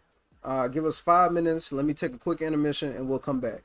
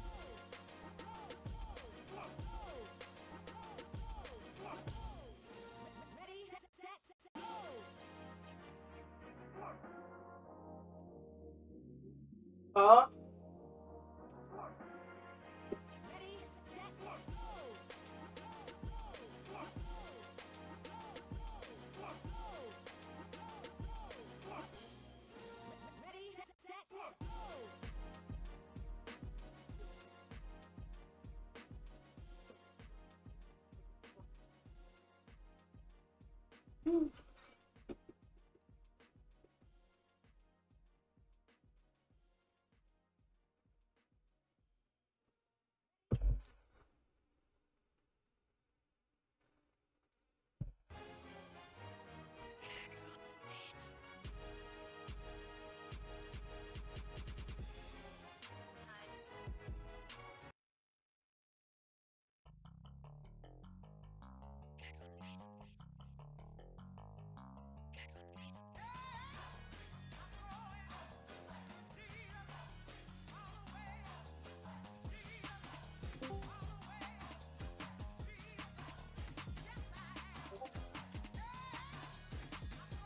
All right, all right. We should be we should be starting to get people back in here.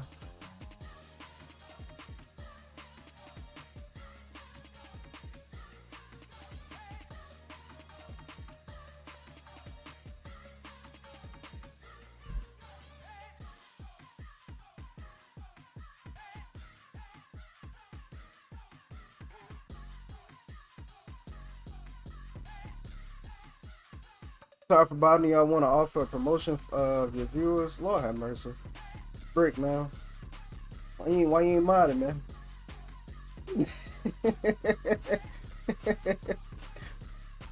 Brick's supposed to be modded, man. What you doing? God uh, damn, man. he did.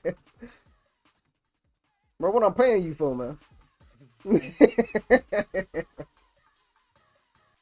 Hey y'all, y'all continue, y'all continue to uh to support the stream, man. I gotta start putting my my my my mods on the payroll, man. So anything that y'all y'all can attribute to the dojo donations would be more than plentiful. Um, if y'all want to, and I also have a um I also have a thing going on my Facebook page as well for the Wounded Warriors uh program. If you want to check that out on my uh, Facebook. It's my I'll actually post it in here. But I would love for y'all to to contribute a donation to the Wounded Warriors program as well. So I just want to put that little plug out. But anything that y'all contribute to us, y'all please share and subscribe as well as turn on your notifications so that I can uh, start being able to actually put my mods and stuff on payroll. This is a LLC now, and I'm trying to grow this as much as possible. So any any help as far as even just following the channel and and sharing the video is more than helpful. So keep that in mind. I do appreciate every last one of y'all. Um, all this is a safe space as well. I should attribute that as well. This is a safe space, so whatever you attribute to the chat, I will be reading it and voicing that into uh, our conversation as we go along. So uh, please don't don't hesitate to put something in chat and let us know how you feel about the the conversation as well. got a bite on game. Like she said, she's moving about the Yeah, I think we lost one. Yeah, uh, Ivory. And Lupin, just to answer your question, since we're we're kind of sort of still in a mission, uh, or intermission, um, I will start allowing people to come in and um, attribute their opinions on the topic probably in the future.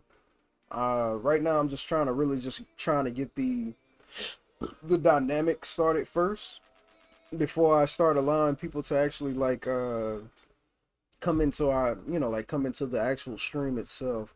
Uh, but Lupin, you already know you a day one man, and I appreciate all the love that you provide uh, here in the chat as well as uh, just to the, the dojo in general. So uh, don't think anything that you're saying or um, anything that you're providing to us is going um, unappreciated. You know what I'm saying? And I, I want to say that to everybody. But I do appreciate y'all. I do voice acting work now, and I've been in uh, been in around media a while. And I've seen the BS. I want to get into voice acting, man. I think that'd be really dope. Are we gonna let everybody else come back? I don't know. Um, I think we're only missing we're missing Nigel. I said five minutes. That's that's all I said was five minutes. Y'all don't know how to tell time. I said five minutes. What's up?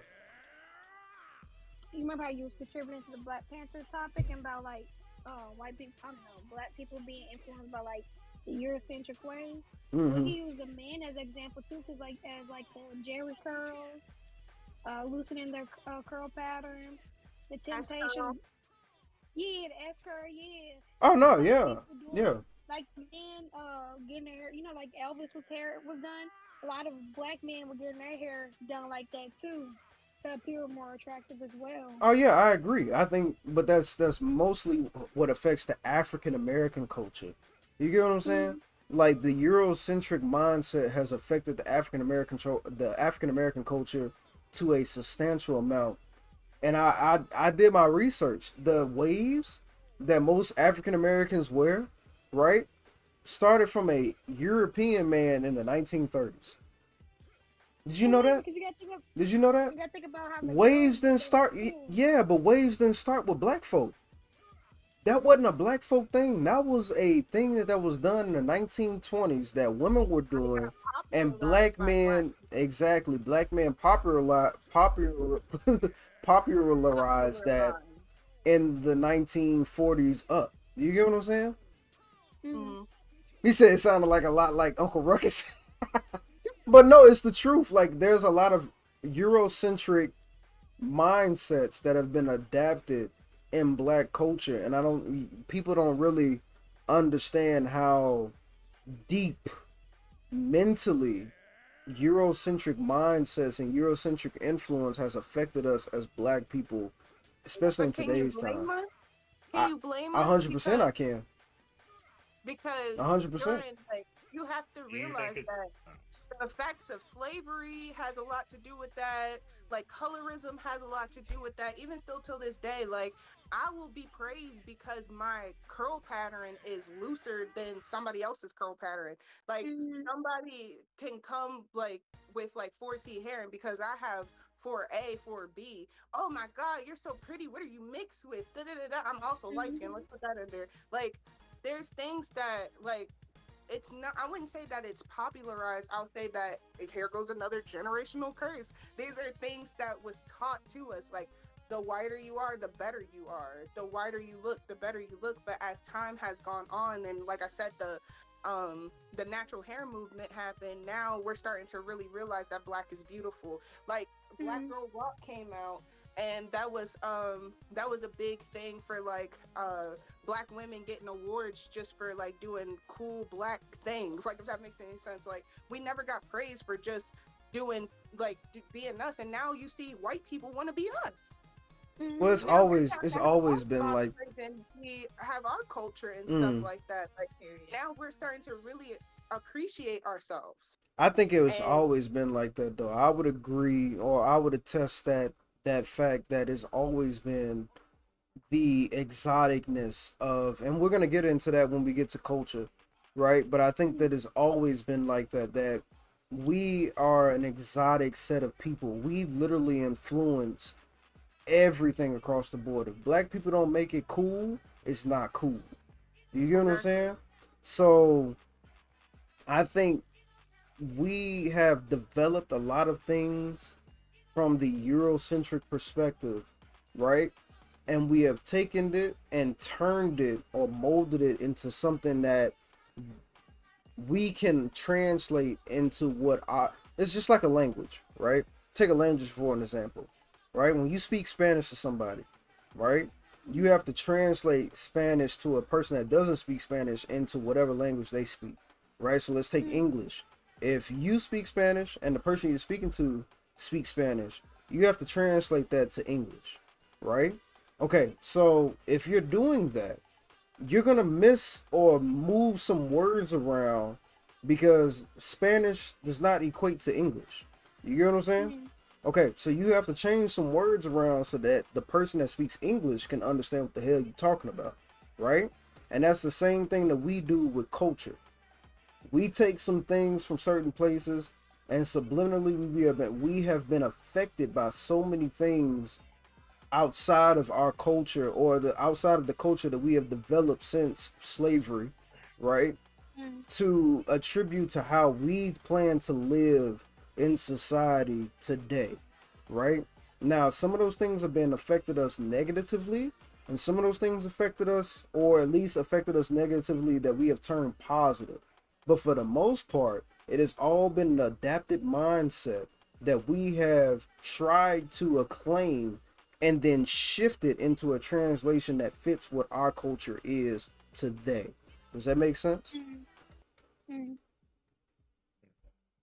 Do you have uh you are we gonna move into the following topic? Yeah, yeah. So, uh, Lupin said exactly. Black people and culture influence everything in our society today. If it's not cool in black communities and culture, it's not cool. And I agree with that 110%. Exactly. And I also feel like to say another thing on your thought, like I feel like slavery, like we came from Africa. When we came, We don't from know that. Africa Allegedly. the boat, our, We don't know that. When we came off the boat, our culture was ripped away from us. So Black American culture is something that we created as Black mm-hmm. people. So of course we're gonna feel like like the things that we were being taught, like oh straight hair is better, this is better, the way that this looks is better because that was like I said, we don't have a culture. We had to create our own culture as American mm-hmm. people. Again, like I said, as the black as the natural hair movement happened, as like it became like, oh, hold on, we need to bring our power back. We started to wear our afros and wear our locks and wear everything that we feel like that that's who we are as black people because you Mhm. also have to realize that when you go to a job and say I go to my job like this, like they Right. can say, "Oh, we don't want to hire her because her hair looks a mess," but I don't feel like my hair looks a mess. Nobody else feels like my hair looks a well. As a black, as black people, Yeah. I wouldn't call my hair unprofessional, but that's what they're saying that it's unprofessional. So we had to conform into a standard so that we can get better jobs, better um better opportunities. Like Opportunities, you mhm. have to go into whiteness in order to thrive in America. That's, That's just the truth. True. And that is very By the way, the way we uh communicate, the way we our image, the way we, just everything. Stop allowing people to have locks at, at their fucking job. Exactly. Like for the longest, women or even men couldn't have hmm What's up, Chocolate? Chocolate in the building, man. I got to give Chocolate a shout out, man. Much love to you, Chocolate. So, uh, yeah, that's yeah. It's crazy. So our next, our next com, our next uh question is, uh, what generational curses do you notice in our music?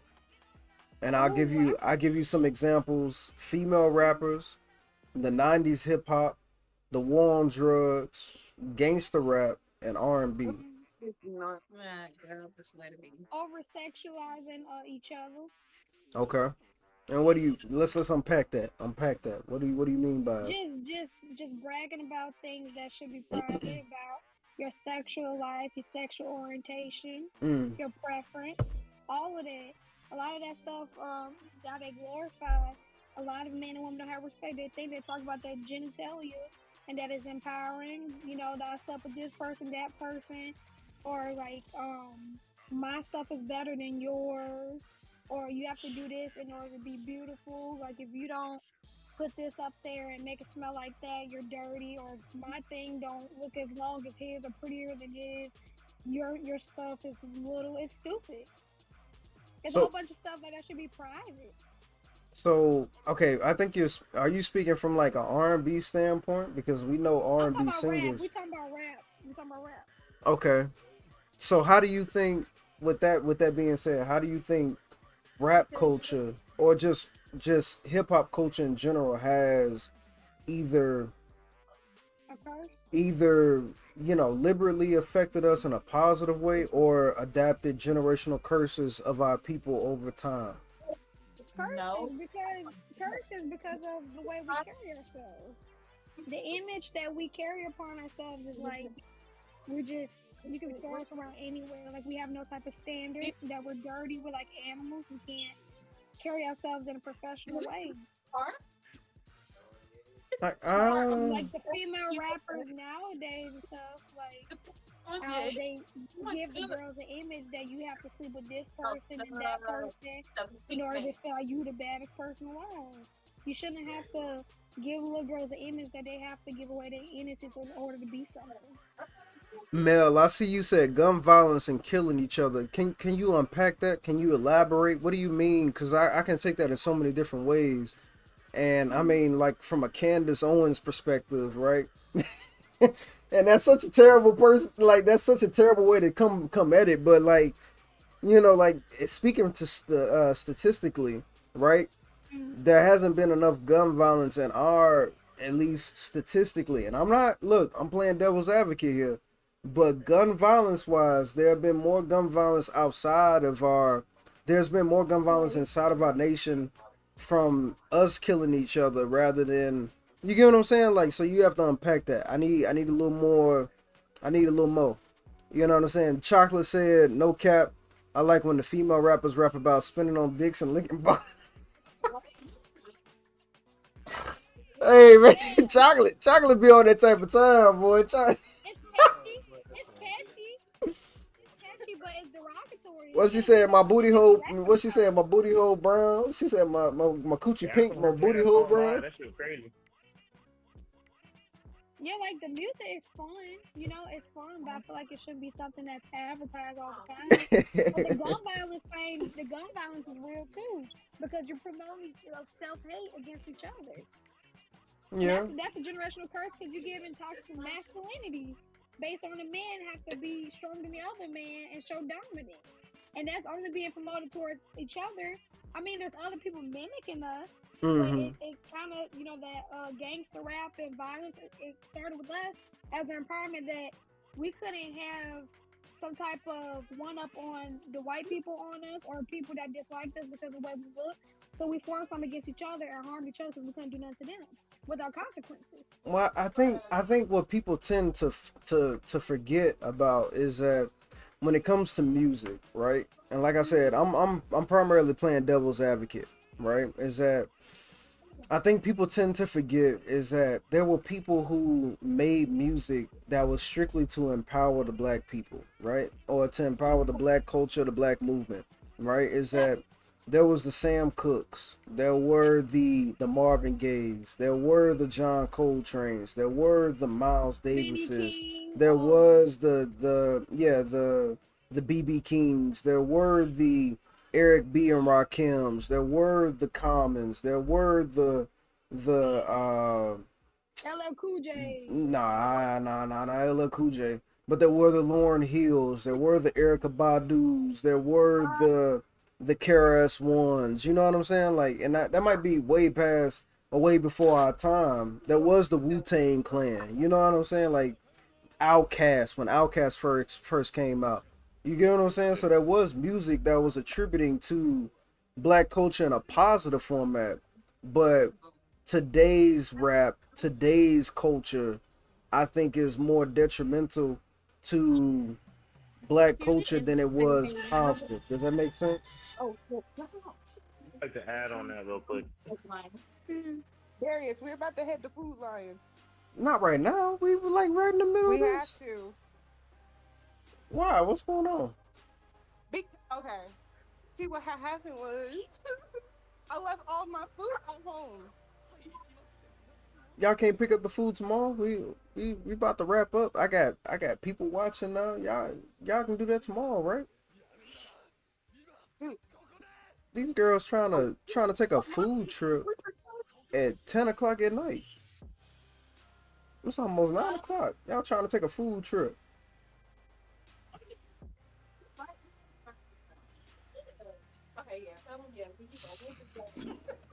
What are y'all what are y'all trying to what now? Like why now? Y'all got the whole morning. Don't worry about it. Don't worry about it. Don't worry about it. What, what were you trying to, Nigel? What was you trying to say? What was not yeah, thank you, Nigel. What, what were you trying to get at? Ah, music is a free form of expression. You know what I mean? And what I mean, what I mean by well, if you don't know what I mean, there's music for every type of person, and then in some ways, yeah, we may see it as negative, and yeah, it may have some negative context to it, but it also could be like fighting a fire with a fire. They hear it and they're like, ah, maybe I shouldn't be doing this because like in their world it's, it's different, but when it's like expressed or seen on the screen or you know they show it, now you're like, ah, yeah, I need to step away from it. It's all fantasy until it's reality type thing. You know what I mean? But it's So- a young image. That, that's the only thing. They they're poisoning the young um, minds because a lot of people look up to these people.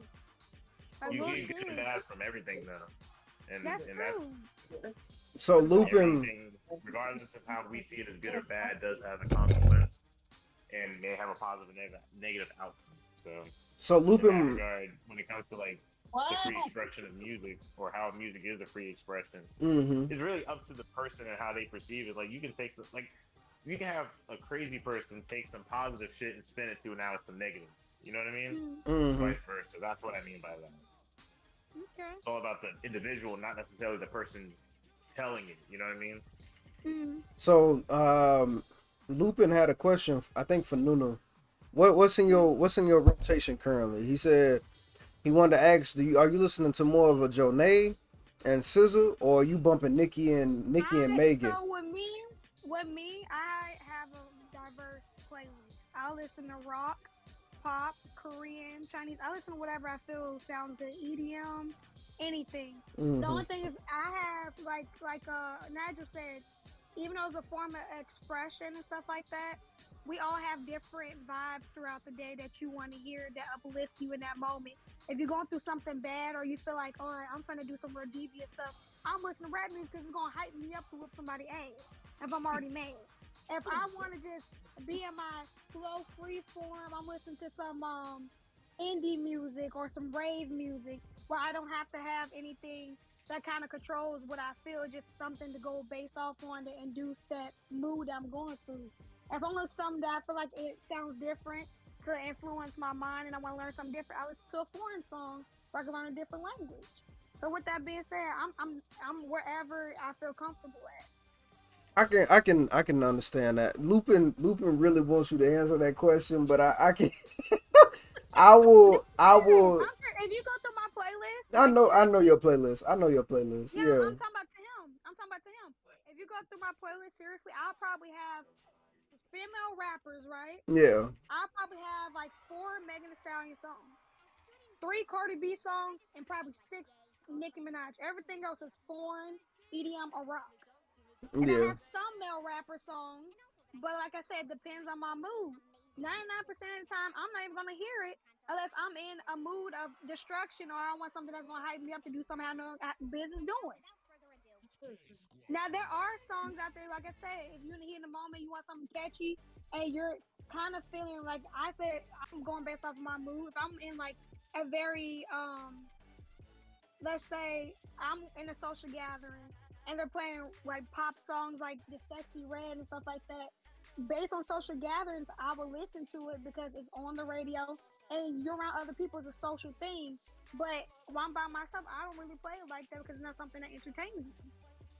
I think what what I'm trying to get at was with the generational curses, right? To bring it back to the whole the whole point of it is that the generational curse is that we tend to like we tend to put celebrities on a high platform, right? Mm-hmm. And we allow these people to attribute things to our lives that we shouldn't condone, nor should we allow to influence our life to life basis. Do you get what I'm saying? There was a situation, and this is news. I don't, I'm not, so nobody come at me, right? But uh, I think it was Sexyy Red, if I remember correctly, right? Sexyy Red tried to go to a high school, right? It was Sexyy Red, wasn't it? Sexyy Red tried to go to a high school and she allowed high school students to twerk in front of her, right? And on top of that, she tried to enter into the school smelling like weed, right? I mean, fumes of weed coming off of her. And she tried to enter into this high school. Now, mm-hmm. that is something that I wouldn't want my kids around. You get what I'm saying? Now, I may smoke weed on the outside or smoke weed on the inside, whatever it may be, but I'm not doing that in front of my kids. Do you get what I'm saying? And because of a person presenting that in a role model in a role model basis, right? That is mm-hmm. something or somebody that I can attribute to being a representation of what I want my daughter to aspire to. And that is what I would consider a generational curse is that someone who lives like that, regardless of who the person she is, she may be the sweetest person or the most uh the most kind person to be around in a in a uh you know what I'm saying? She's not a bad person, is what I'm trying to get at. She may not be a bad person. You get what I'm saying? But there are certain people that we hold to a standard and then we allow them to be our role models or to influence our lives and we will hold them to that standard. And then when people mm-hmm. come at you for being like man like why are you looking at ice spice as somebody you want to be like in the future? And people be like bro like yeah i like ice spice but i don't really feel her music you know what i'm saying? And you like but what is she doing to contribute to the society especially as an african american right? And she is. She's part. She's part black and part something else, right? What is she contributing to black culture? What is she doing to break the generational curses? From what it looks like, she's not doing anything but making more things detrimental or negative in our society. Do you get what I'm saying? thing, though. That's the thing, though. None of these people that you just put out never said that they were role models. They their music is not for children. They're not supposed to be listened to by children. It is the parents. It is the parents' job to make sure that their children are not listening to exposed to things like that. Children should not be listening to Doja Cat or any of those like anybody who talk Megan Thee Stallion, all of them. They're not for children. They're for adult women. Now it's up for that adult woman to uh like I listen to all them. I listen to all them, but let does Aj know can he recite a, a song? Does he know any of that music? No, because when I'm around my child, I listen to freaking Gracie's Corner. Okay? Listening to things that are going to help my child do better in life. I'm watching freaking Blues Clues all day, even though I want to watch freaking Bad. like I'm not watching that stuff in front of my child. It's up to you hmm. as the parent to not expose them to stuff like that. And yeah, I will I say gotta- that they could get exposed to stuff like that in school and all that stuff. But for as long as I can help it, I will make sure that he is not exposed to things like that. Okay, so Naja, go ahead. Then I'll, I'll come with a rebuttal.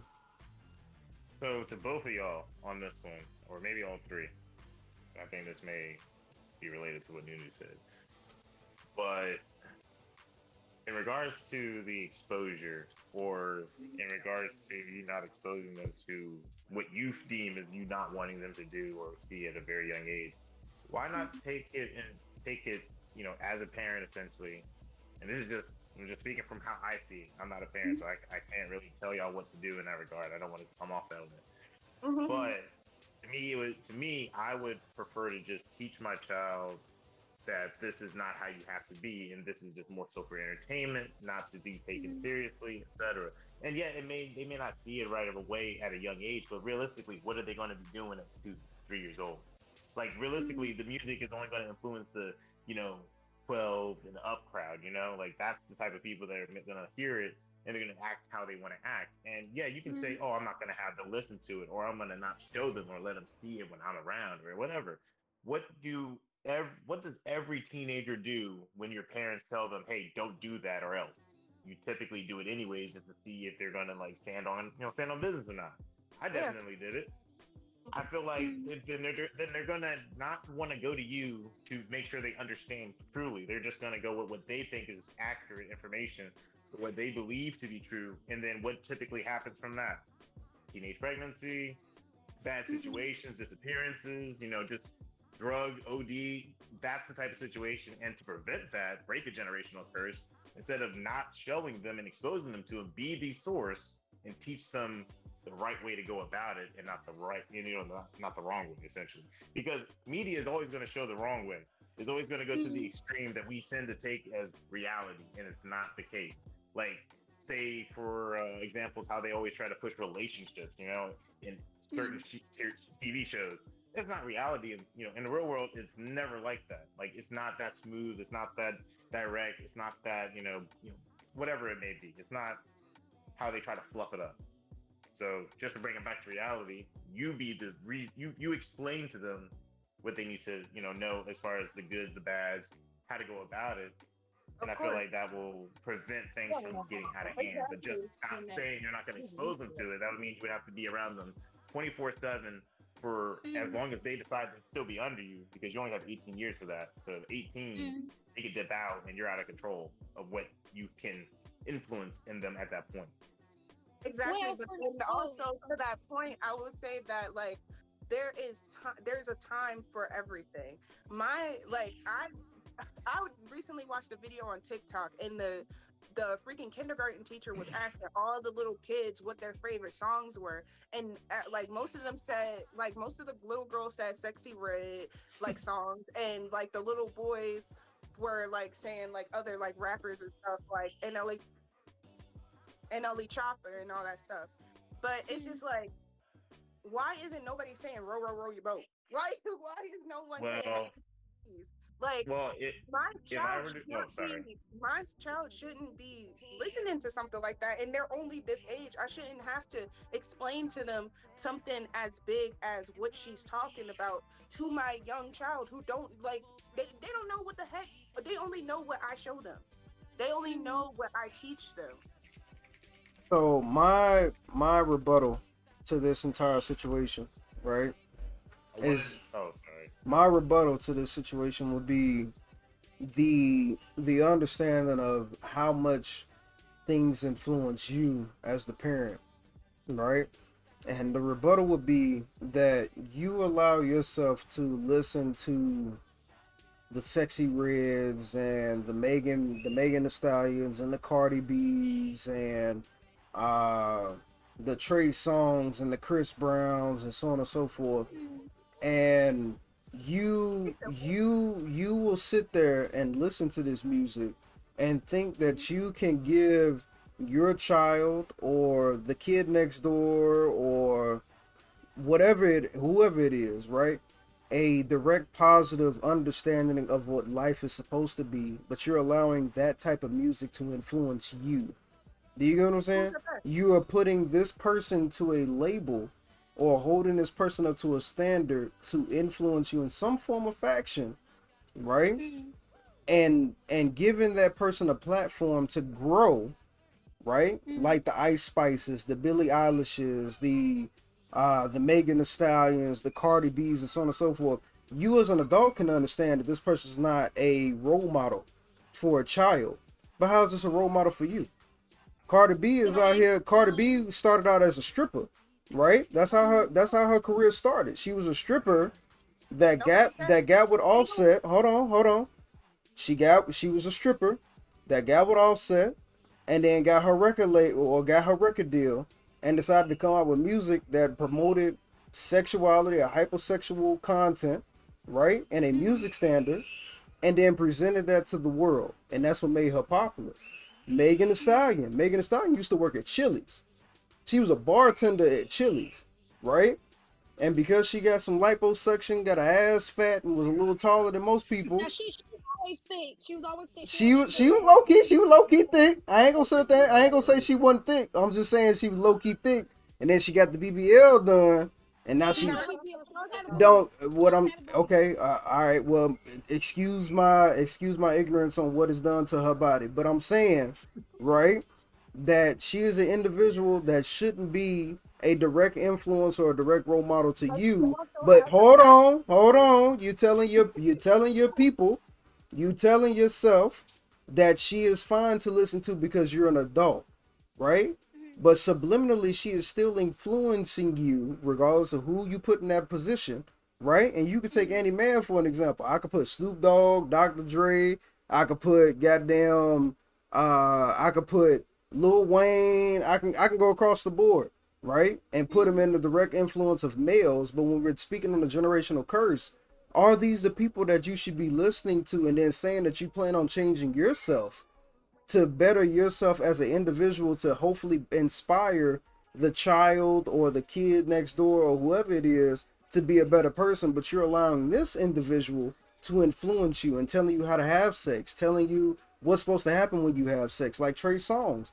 Brick brought up uh, the other day that Trey Songz literally had a whole record on his album of him having sex. You know what I'm saying? This nigga is literally piping somebody down. He literally piping somebody down on a record. And people listening to it, and you like, oh, this is how it's supposed to sound. This is how it's supposed to be. And you're allowing that to subliminally, regardless if you if you think about it or not, it's subliminally influencing you to think a certain way.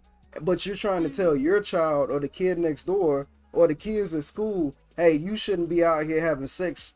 Uh, un- uh you shouldn't be having sex uh unprotected at, at between the ages or whatever it is. And when you get 18, that's when you start having sex. Or you should get married at the age of 21 and only be um you should only be um uh you should only be loyal to the person that you with but you listening to chris brown and chris brown piping down 15 women a day you know what i'm saying like you know like It goes back when how I can had that how can that work That ain't cap. If I It could, uh, to when Hold on. how can that work It goes back to what Nigel said, because uh, Nigel was basically saying how you let it influence you, because entertainment purposes. Because, um, like with that genre and stuff like that, it's for entertainment, and it's basically you gotta have your own values before you start listening to stuff like that. But like Derek said, it's kind of hard to put people in the right direction if we we're under the same type of thing. But like you said, we're kind of giving us a gateway because we are the age of understanding.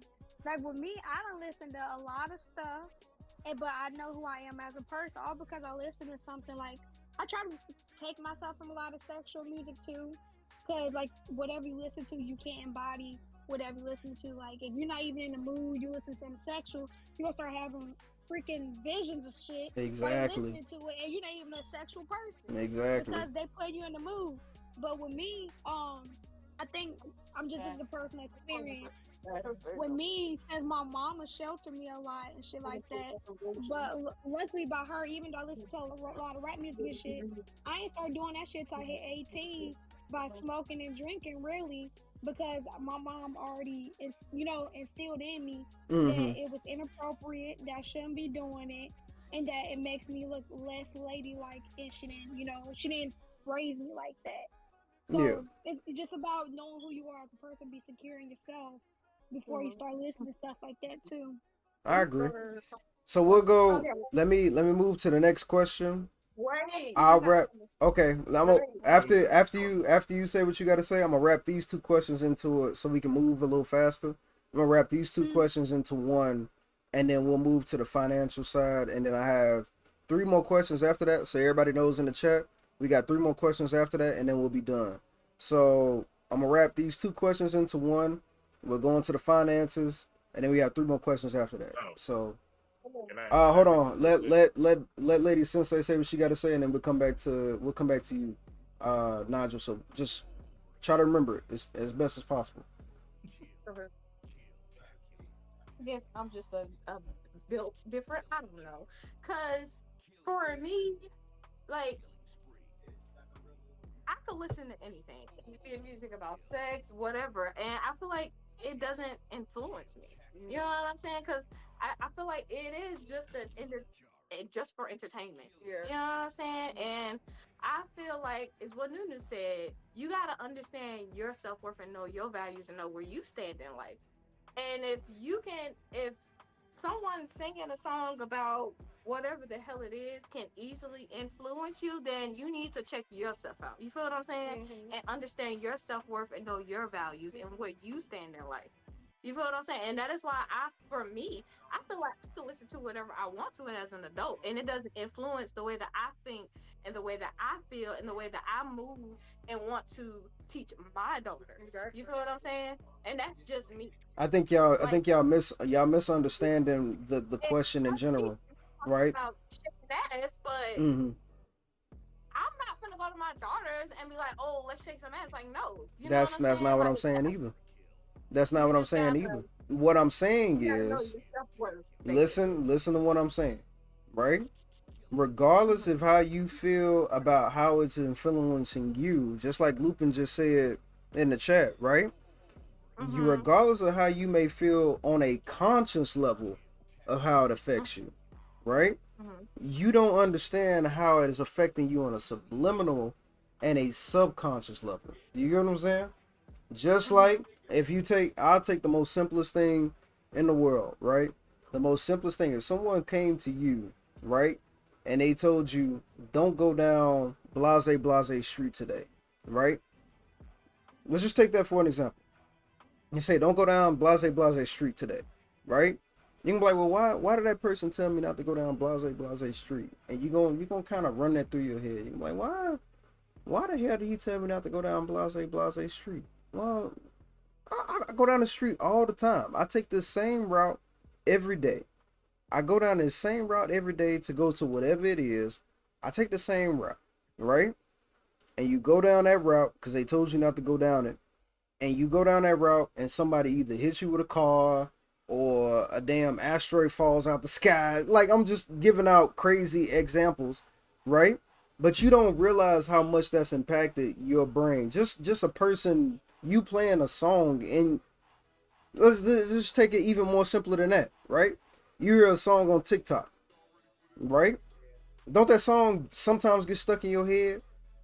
A song on TikTok gets stuck in your head. You be like, bro, I can't not get this fucking song stuck out my head. I don't know why this song is constantly playing in the background, but I can hear this shit. Like I really want to. So you go and look up the song, you try to find a song, you play the song, like, oh, thank God, now I'm not hearing it no more, right? Right? Okay, you don't realize how much that's affecting you from a subconscious level, and then you try to preach something, right? Like breaking generation generational curses, what we're talking about. You're trying to break the generational curse of what this is doing to society, not just the Sexyy Reds and the Megan Thee Stallions. I'm talking about from a a a deeper standpoint from all the stuff that is stemmed from where the Sexyy Reds and stuff stem from today. Do you get what I'm saying? Sexyy Red didn't get Sexyy Red didn't become Sexyy Red because that's who she was. Do you get what I'm saying? Sexyy Red got that from Lil Kim and Trina and goddamn uh uh Coco Jones and all them Foxy Brown. She ain't get that. She ain't get. She ain't just become Sexyy Red because of Sexyy Red. Sexyy Red became that because there were 15 other women that acted like that and turned her into what she was today. And she thinks that's her, but it's not. You get what I'm saying? Just like Lil Kim or Trina, you could put anybody in that position. Those things became those people became those people because they seen somebody acting like that around them, and that's what the generational curse kind of to tie back that into, right? That's where it comes from. That's where it stems from. And that's why I said that you should not expose your children to stuff like that until they are at the mindset where they understand that this is something like until you can dis- differentiate what they're doing, knowing that, like Ziny said and like Nigel said, that this is for entertainment purposes only. Like I can listen to that stuff because I'm grown and I know that. Like first off, I got a man. If I want to listen to something talk about some sucking dick or whatever, whatever, I can do that. I'm grown. Yeah, yeah. I'm grown, but my kid is. I'm not going to expose them to something like that because that's not something our children, a child, should be listening to. And these people don't market themselves as role models. Never did I hear um Cardi B that I marketed towards children or this or that. None of these rappers are marketed towards children. Their parents are allowing them to listen to these songs because they feel like it's right. I think my question is, I think what y'all are missing is that the question is, should you be, should you be exposing yourself to something like that, regardless if you're the parent or not, regardless if you're the adult or not, because of you trying to break generational curses, you don't want to see your daughter, or you don't want to see your daughter twerking at 16 at the prom, twerking on some random You dude. should You get what I'm saying? You don't want to see, you don't want to see your son grabbing some grabbing some chick at the prom and trying to take her to the back and trying to fuck with no condom. You feel what I'm saying? What I'm asking is, should you be exposing yourself to that type of stuff? Is what I'm asking. because you're trying to set apart and be the person that breaks the curse, right? That's the whole point of the, that's the whole point of the topic. So because you listen to that, regardless, you take all the other shit away, right? Take all that other shit aside, put it all on the side. Should you be the person exposing yourself, regardless if you're an adult or not? You know it's fucking wrong. You know somebody shouldn't be talking like that in a rap song. You know somebody shouldn't be talking like that in a movie. You know you shouldn't be watching somebody having sex on screen. You get what I'm saying? Like that these are things that you innately know that you shouldn't be exposing yourself to, but yet you still do it.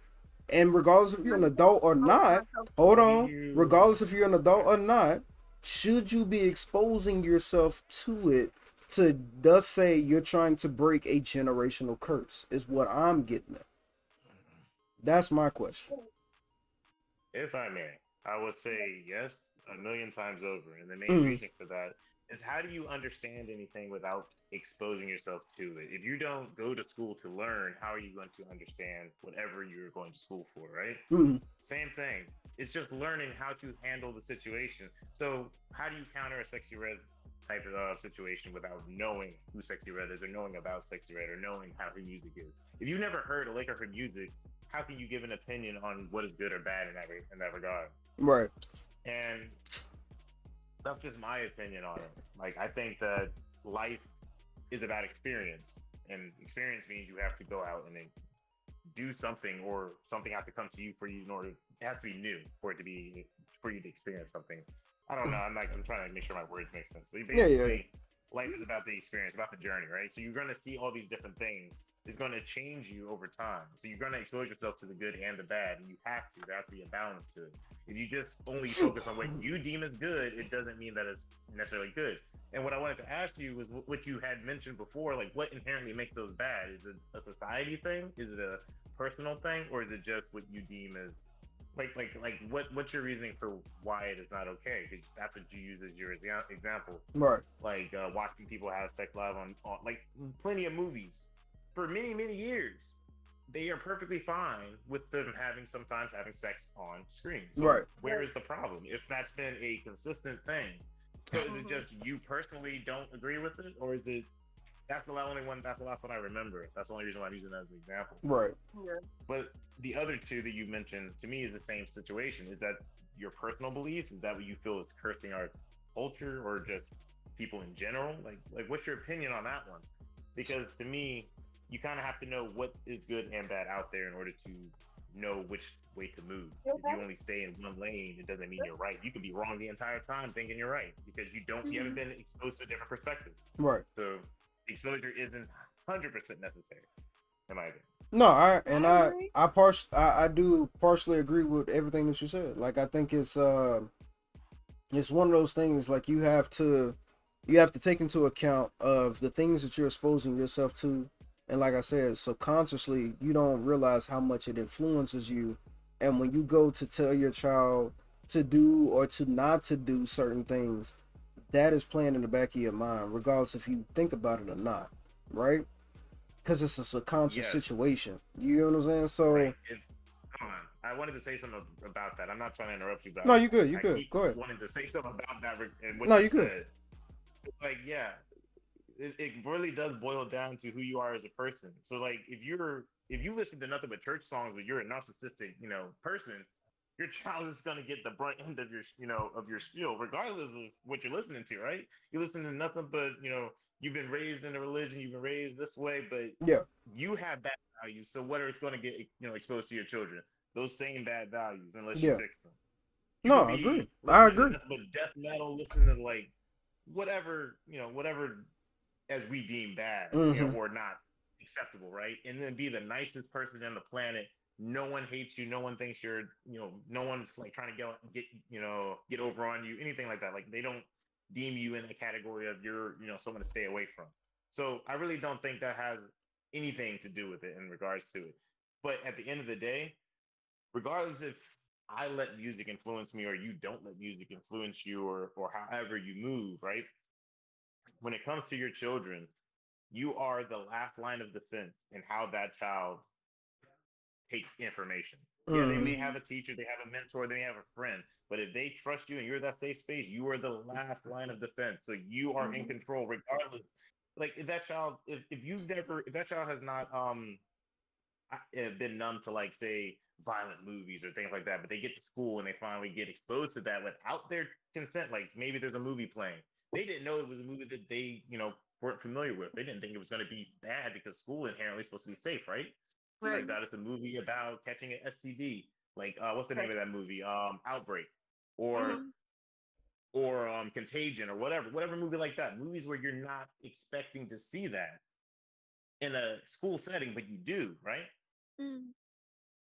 So you're not trying to expose your child, and he get and they get exposed to something, boom, out of nowhere, and now you have to now do uh damage uh damage repair, or you have to damage control basically Mhm. to kind of Mm. mitigate how that may affect them because you didn't already do that. That's why I was Right. saying you should, or in my mind, I would expose them to a, you know at a point to you know gradually, not like you know throwing them out to the wolves or throwing them out in the ocean and make them swim. You know, Of course, and like that's that, why I gradually, said of course.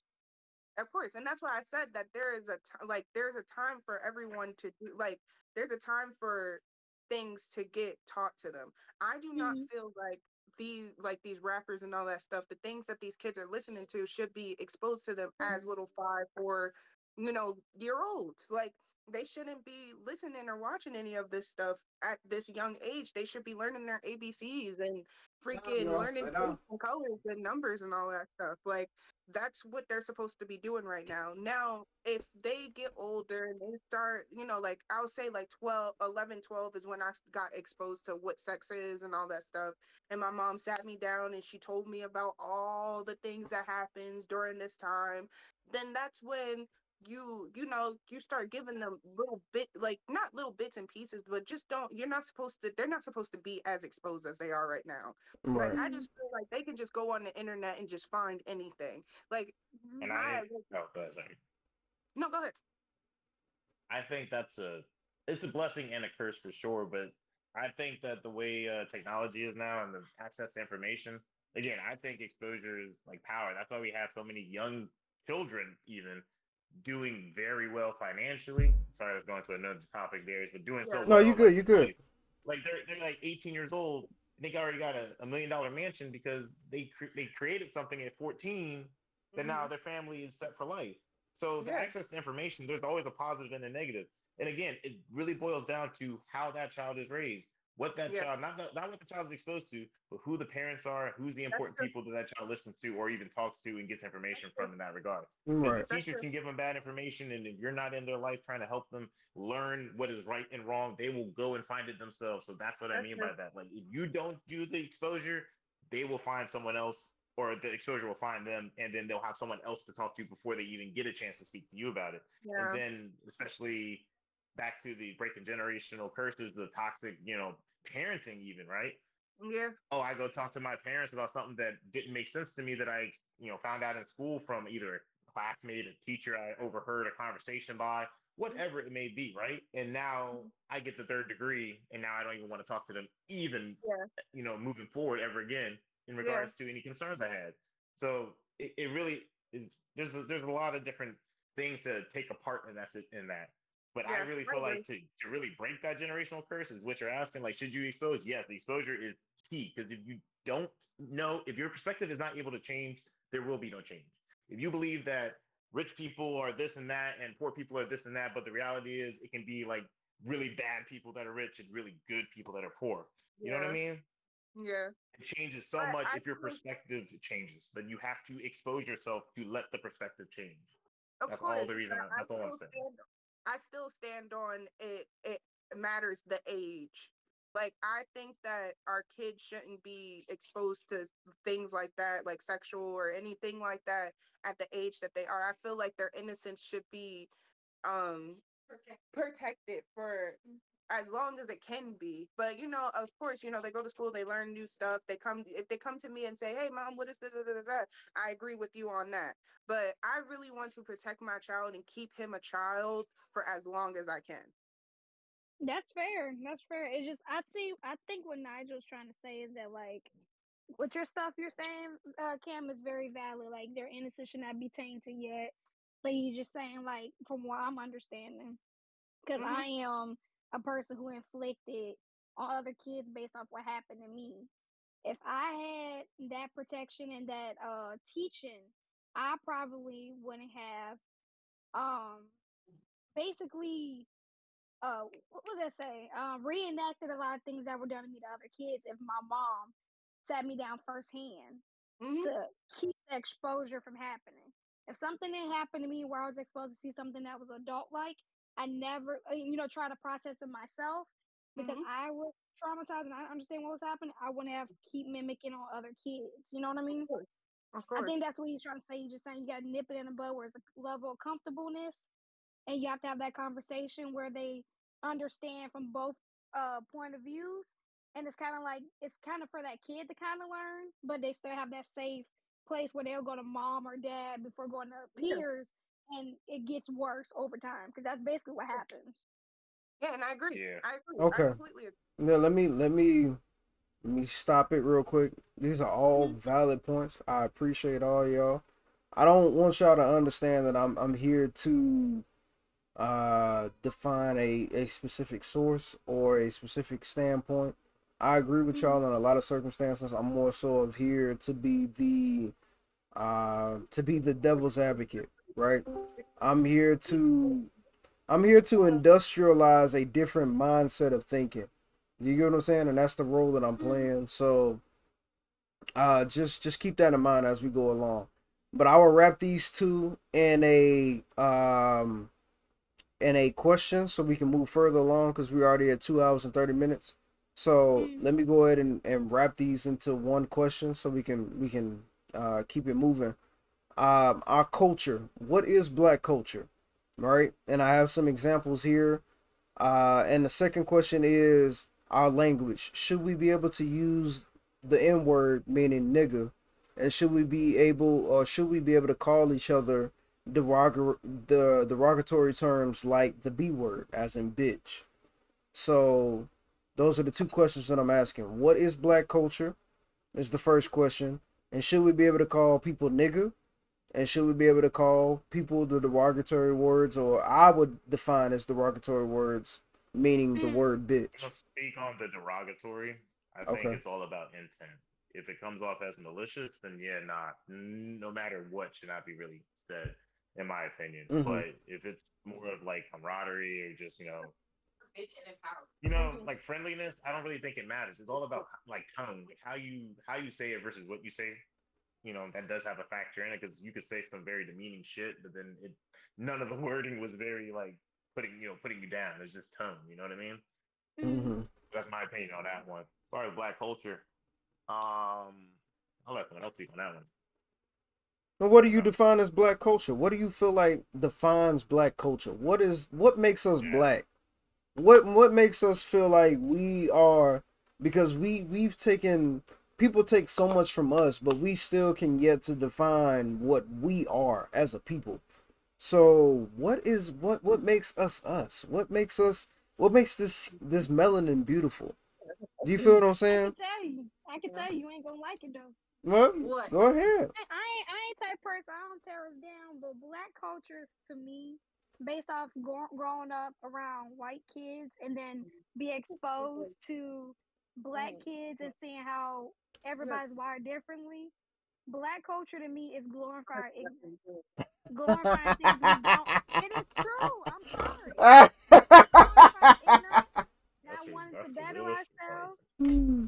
Wanting to better ourselves. Bring bring your camera back, nigga. and we keep and we keep thriving off of we, we basically bond with each other through traumas if you want to be real when you Mm. make a friendship with a black girl it's always something going on at home or something that we were seeing firsthand as children and we grew Mhm. up into that lifestyle Mhm. through our parents like our let's say our uncles and stuff like that that were alcoholics Mhm. so older, even though they're telling us you shouldn't do this, we're being exposed to it, and then we get older, we end up doing it because it's a trauma thing. It's a it's a trauma bond. We grew up around our parents that tell us like for uh, uh, my family, they didn't let us cuss or call each other's our name. We couldn't like a lot of uh, black families you couldn't say liar because liar was a cuss word and stuff like that. So it's it's basically based off of trauma bonds, ignorance that was glorified because that's all that we knew, and that's what we made of our culture. And if Mm. we go around other people talking the way we talk, we sound very uneducated, and that we don't want nothing better for ourselves. We like thriving in negative energy Mm. and using the words that we use, even though we use it for empowerment, because it was used against us, and now we're trying to use it where it's a social thing and stuff like that. It's still a traumatic experience that we all are trying to bond with, rather than trying to find a way to better ourselves and communicate better with each other and build each other self up, ourselves up. See, Lupin, Lupin, I, I get where you coming from, Lupin, but I, I honestly agree with Nuno. And that's that's crazy. This is the first time that I've agreed with Nuno is that our our culture tends to depict something that we don't take the time out to actually fully understand what the fuck we have actually put ourselves into.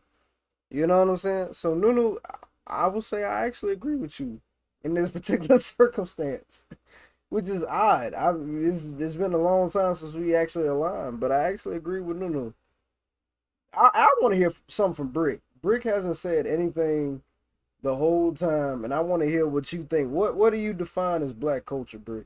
Because I haven't heard from Brick in a long ass time. So what do you what do you define as black culture? The color of my skin. I mean, okay, okay. I mean, I'll take it. I'll Amen. take it. That's fine. I'll take it. You said the color of my skin. But what else? You got you got something else to add to that? It's just the it's just the color of your skin, that melanin, huh? That's it. That's it. The melanated. Like it. I'll take it if that's if that's all you're gonna give. I'll take it. All right. What you what you got, Cam Cam? Of course, I always got an opinion. Like I said earlier, us as Black Americans, we have to create our own culture. Like we don't have like a set culture that we got from that was passed down for generation generations or whatever. We're still trying to figure that shit out. Now, for bitch, I will say that we as women took that word back and like he like um Nigel said, you um it's all about intentions. Like I'd be like, Nike, bitch, let me fucking tell you what the hell happened. And she'd be like, bitch, what? Like that's a whole different it's all about how you say it, whatever. And I can also be like, bitch, get the fuck out of my face. And she's like, what the fuck you calling a bitch? Like it could all be used differently. Same with nigga. And then I feel like whenever I hear y'all talk about like blackness, it just y'all think of like the negatives. Like there's so much positive that comes with blackness. Like I think our our culture, we fought for a lot of things that we have right now. Like what are what is happening? What is going on? like there's so much good in the black community. Like like I said, part of our culture, we got the freaking uh the freaking is it called the civil rights movement? We got the civil rights mu- movement. We got like all these like people who empower us. That's all a part of our culture. Like we literally fought for our freedom. Watch. Is I guess I guess it's one of those things like I think people can't get to the can't yet define what black black excellence is or what black culture is because we still we still well i think it's one of those things like we still can't define what black culture is to us because it's a ever evolving culture Do you know what i'm saying it's constantly evolving so it's it's difficult to kind of put labels onto something that is constantly changing Do you know what i'm saying however however there are certain things that define what black is. Do you know what I'm saying? There are certain things that naturally just label us as black. Do you know what I'm saying? Rodney King, God, you know, God rest his soul, but Rodney King is a great example of what black is. Black is a person. Black is a person that's riding down the street and getting assaulted by five or six different police squad cars in the middle of California and being beat senseless and then being able to win the case two years from now. Do you get what I'm saying? So like, no, hold on, hold on, hold on, hold on. Black is one of those things, though. Black is a oh situation where you are hated across a nation. Oh my god. Black is hated. You are hated across a nation, and you're still able to thrive and make yourself into a a a tycoon in your environment. You get what I'm saying? You are able to take the atrocities. You are able to take the atrocities that have happened to your people, and able to to congrue it into something that is so substantial that no one can stop. I guarantee you, most of y'all don't even know the richest black man in America. Do y'all know his name? Kevin Samuels. Ca- Shut your ass up, nigga. What he say? What? Who is the richest black man in America? I don't know. I don't even know who the richest white man in America. is. Somebody, somebody in chat, tell me who the richest black man in America. I, I won't wait, but somebody put it in chat. Who is the richest black man in America? I'm gonna tell y'all, but I would love to see if somebody knows it in chat. The richest black man in America is Robert F. Smith, right? He is a black entrepreneur that started that started his his uh his wealth in hedge funds, right? He is the black American tycoon next to Tyler Perry, which Tyler Perry, thank you, Lupin. I'm glad you know. But Tyler Perry, Tyler Perry is the second richest black man in America, right? Actually, I think, I think, I think, I think, I think Tyler Perry beats. No, no, I think, I think Robert F. Smith is still. That's not what Google Robert- said. Google told me. Who is that? Who is that? I can't see. Who is that? What does it say? It says Aliko Dangote. I don't know how the hell. No, that that nigga's Nigerian. That's that's not that's not black. that's not black. That nigga Nigerian. That's that's he may be Nigerian American. I'm talking about black, straight from like the gutters of America, and built his wealth up. Do you get what I'm saying? Robert F. Smith is the richest black man in America. Yeah, Robert F. Smith is the richest black man in America, right? Oh, and this this will kind of segue into the finance thing. But Robert F. Smith is the richest black man in America next to Tyler Perry. Tyler Perry is the second richest black man in America. And we take our understanding of how to take something so fucking bad. Like literally black people can't go nowhere and not be hated on. But there's so many there's so many black people there's so much of the black culture that will be influenced and appropriated to make other people look good in some form or fashion or they will actually appreciate black culture and try to do something good with it within what it is right?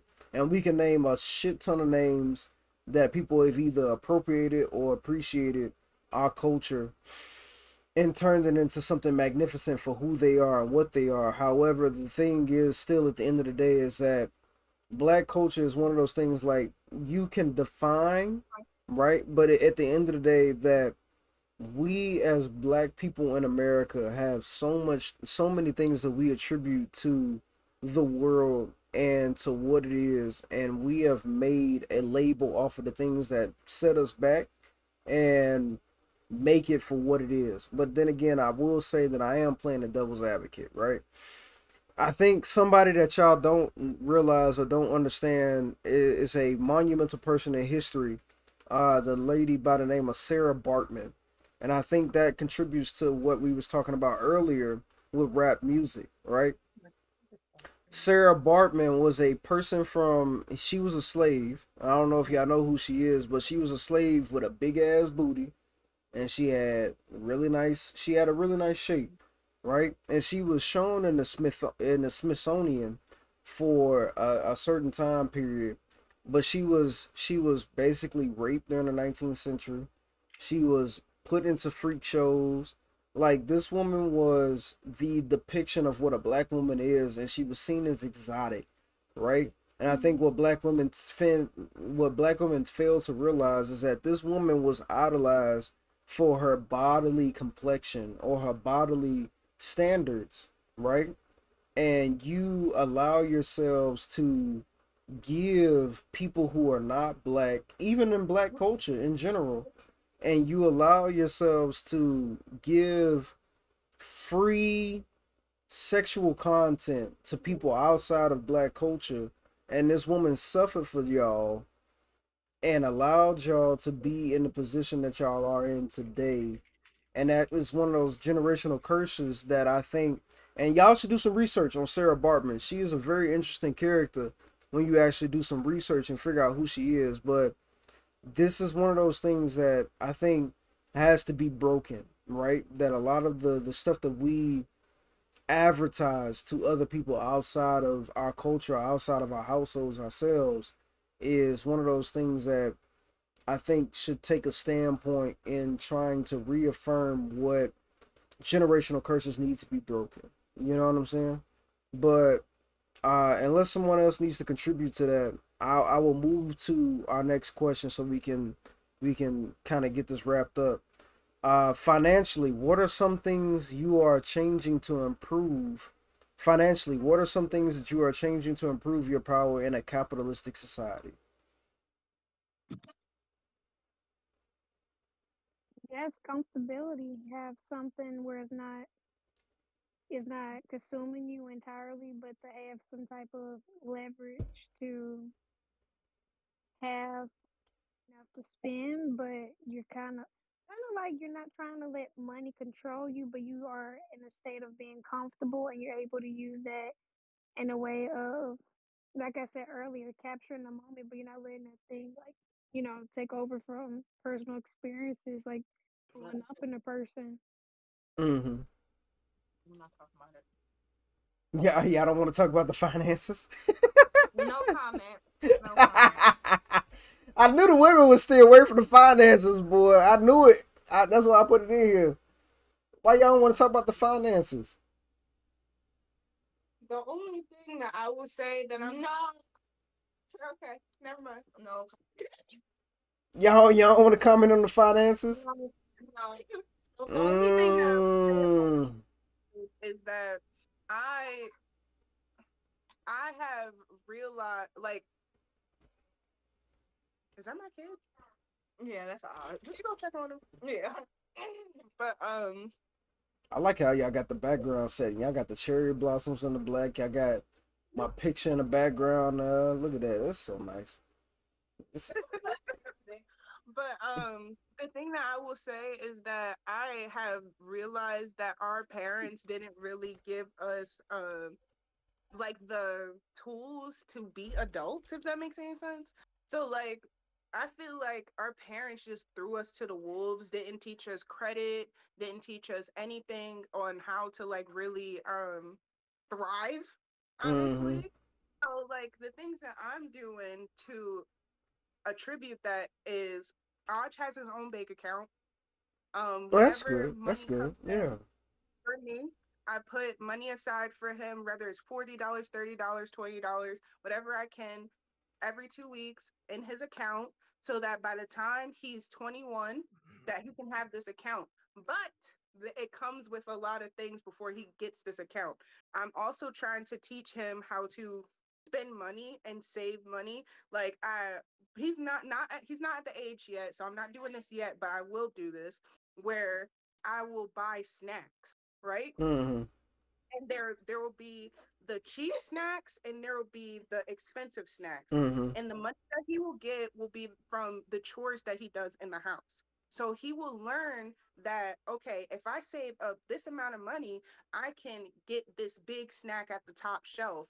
But also, if I have just this little bit, I can also get the lesser thing. But you know, he will always thrive for the better snacks.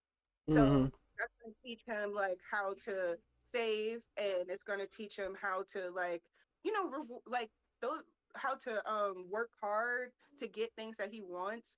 And then um another thing that I'm going to do is before I hand over the bank account is that I want him to look for the apartment, have like get a job, like save up his own money for like to move out and have his apartment. And then once he gets into his apartment i just drop that fucking account on him and be like here you go. You done everything that you needed to do so i know that with this money you're not just going to spend it on stupid stuff like i know that you're financially responsible and i've raised you to really think about what you're doing with money because I wasn't raised like that. My mom just taught me to just spend my money. And if I get credit card debt, it is what it is. Tell them niggas to just stop calling me. Like put put scam money on block. I You think know? I think yeah, and I would I will attest to that. I think it's it's a situation where what the fuck Nigel go? But anyways, I think it's one of those things like I, I do agree I do agree with you. Like it's uh our families did not give us the blueprint. But the thing is is like how can someone this is the the example that I give to everybody, right? When we get to talking about especially like finances, right? If you tell a person to go into a library and find a book about horses, right? They're gonna bring you back 500 books about horses. I'm like, that's not the horse that I wanted to talk about. I wanted a horse. And I'm like, what the fuck are you talking about? I want you said find a book in the library about horses. I'm like, no, bro. What I meant was find me a book about white stallions. Right? I'm like, oh, okay, that's what you meant. Okay, well let me go and find this book about white stallions. And then that that 500 stack of books turns into like 25, right? Okay, so you I guess you have to understand and this is this is why I give my parents some grace, right? Is that my parents didn't have the ability that we have today to really hone down or hone into the, the understanding of there's a certain place where you're supposed to achieve this information or a certain place where you're supposed to find this information. You get what I'm saying? And we as as a newer generation with the access to technological advancements can go and access the information to give us the the leg up and making us more financially sound. Do you get what I'm saying? So with that being said, right? I guarantee you 70% of the people who's probably going to watch this video or has watched this video when it posts or even the people in this chat I guarantee you, most of y'all don't even know half of the shit that you need to know about life insurance. I do. You, yeah, I will. I would probably say you do. I, I, I will attest to that. You, you, you probably know some shit about life insurance. Do you know what I'm saying?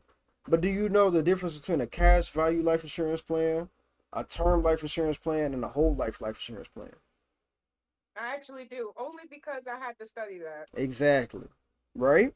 But most African American people don't even know that the reason why the Rockefeller family is still where it is today, right? The Ford family is where it is today.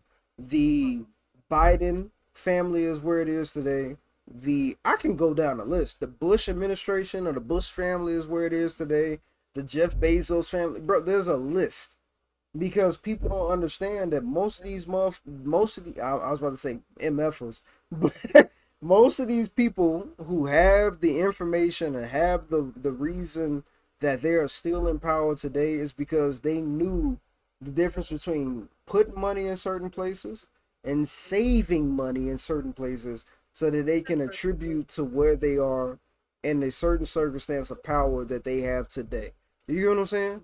There are certain things that we have the knowledge and as well as the perspective on how to improve ourselves as a society, right? Like Lupin has stated before, 70% of the do- the black dollar doesn't even circulate in the black con- uh, black community, right? 70%. We are the biggest attributors, right? As black families, we are the biggest attributors to society but half of that money doesn't even circulate in our fucking community. Right? Okay, so mm-hmm. if that's the case, how do we ever expect to get from taking pennies and nickels to having dollars behind our names? Do you get what I'm saying? It don't even make sense. You you you literally saving pennies and fucking nickels, but you giving dollars to everybody else. How how how will you ever get out of the situation of trying to make yourself a bigger person in society if you're giving everybody else your dollars and only keeping the pennies and nickels. You get what I'm saying? Do you see how you gave yourself that knowledge of how to be financially responsible? Now you will give your children that knowledge of how to be right financially uh aware and then it will go so on and so forth so you knowing all this stuff is breaking that financial co- uh, that generational curse and that's what i'm Yeah. going to do for my kid and that's Sure. what my kid is going to do for his kid like our parents didn't really understand that stuff because what they were taught back in the day was that okay this money comes in you have to pay for this you got to pay for that you live within your means like Mm. um, they didn't really know about savings and 401ks and all that stuff they don't care they didn't care about that stuff they only like you had all this goes back again to slavery time where the reason why we spend money to like flash on each other is because back in slavery days you know if you were you you had to be the the nicest looking one and you know everybody need to look at you and be envious and jealous of you that's all they know is just to flaunt their wealth or flaunt what the little wealth that they have Well, we we don't we don't really we don't They, they was flexing on field niggas. They was like, we in air Well, conditioning. we- yeah, I'm about to say yeah. We don't we don't really know that. We we only take it from what white people have told us, and that's that's being that's being That's true. extremely direct. We only know from white people have told us. We don't know if there was an actual situation of house nigga to field nigga, right? We only know that there was niggas. That's that's it. That's the only understanding we have. There was niggas, right? And there was niggas working in certain places. We don't know if there was a depiction of house nigga to field nigga. That's just something that's been passed from a a whole nother- you know what I'm saying? I'm I'm trying I'm trying to get back to the the situation of financial financial understanding, right? I'm saying that's a Financial like that all that stuff is a whole nother conversation what i'm Right. saying is that you learning all this stuff is going to eventually break that generational curse we are we're trying to figure out how finances work i think the first time i even heard anything about finances was from my uh my american history teacher and he told me all about credit and all that stuff and that's not even what the, the class was about like my my mom never taught me about interest and all that stuff and don't take out a credit card or this or that 'cause that's uh. like you know that's not something that they cared about. Money is like you want to have the most money but then like spend it at the same time. So yeah again, like i said we're gonna break that curse but you know going back they don't they never cared about that stuff. We care about that stuff now because I want to don't be I, I don't I don't know. I think our parents did and that's that's the thing. It's like I think you have to show your parents some grace. Right? We have such access. We have such an abundant access to those to those things now. I don't think and I, I will I will attribute that my parents had that in mind. Do you get what I'm saying? And that that may be giving them a little more grace than what is necessary. you know what I'm saying? But I still think that they had they had the understanding that they wanted to give us something just like I want to give my daughter something that they never had before. Do you get what I'm saying? So I think the the understanding was there. It was just the process of how to get there was lost. Do you get what I'm saying? And they didn't have the access or the ability to learn how to get there. Do you get what I'm saying? And that's what makes us different. Is that going back into breaking uh breaking financial curses? For an example, is that now we have the ability to give our children the understanding and the ability to do so, like you were stating before. However, the the thing that I would argue is that are people actually doing so? Do you get what I'm saying? Because I've seen multiple examples of people like selling uh selling prescription drugs or getting into the fentanyl game or uh selling ecstasy at, at techno clubs or going to these big uh like the Dreamvilles and the 420 concert that just came up for Snoop Dogg and them and this is the way that they think they can make a substantial amount of capital to send back to who, them to live life to the fulfillment, right? But there's so many legality or so many legal ways to break that generational curse that you can take upon yourself to actually understand and learn, like setting up a 401k, like uh, understanding how a 401k works, like understanding that if you put money, you making you making forty thousand dollars a year, right? Or sixty thousand dollars a year, but we'll keep it simple. You making forty thousand dollars a year, you know you shouldn't be living above your expenses of forty thousand dollars a year. If you're only making forty thousand dollars, why are you living above your means is sixty thousand dollars or eighty thousand dollars? You know you're only making forty thousand dollars. So why are you trying to live and and export yourself to a lifestyle that you can't afford? Do you get what I'm saying? And putting that money into areas like the stock market, like white people have been using since 1920. Why are you not learning the stock market? Why are you not learning to set up a IRA or a Roth IRA or putting your money into a uh, a substantial um return system that white people have been using for years and you're not taking the time out to understand and learn it and put your money into that posi- that position. And well, I'm gonna I'm gonna go back into how my parents were raised. I'm gonna just say that my parents No, parents. hold it tonight if you don't poop. freaking- No, no, mic. Uh, mute your mic. I'm about to. I'm, I got it. I got it.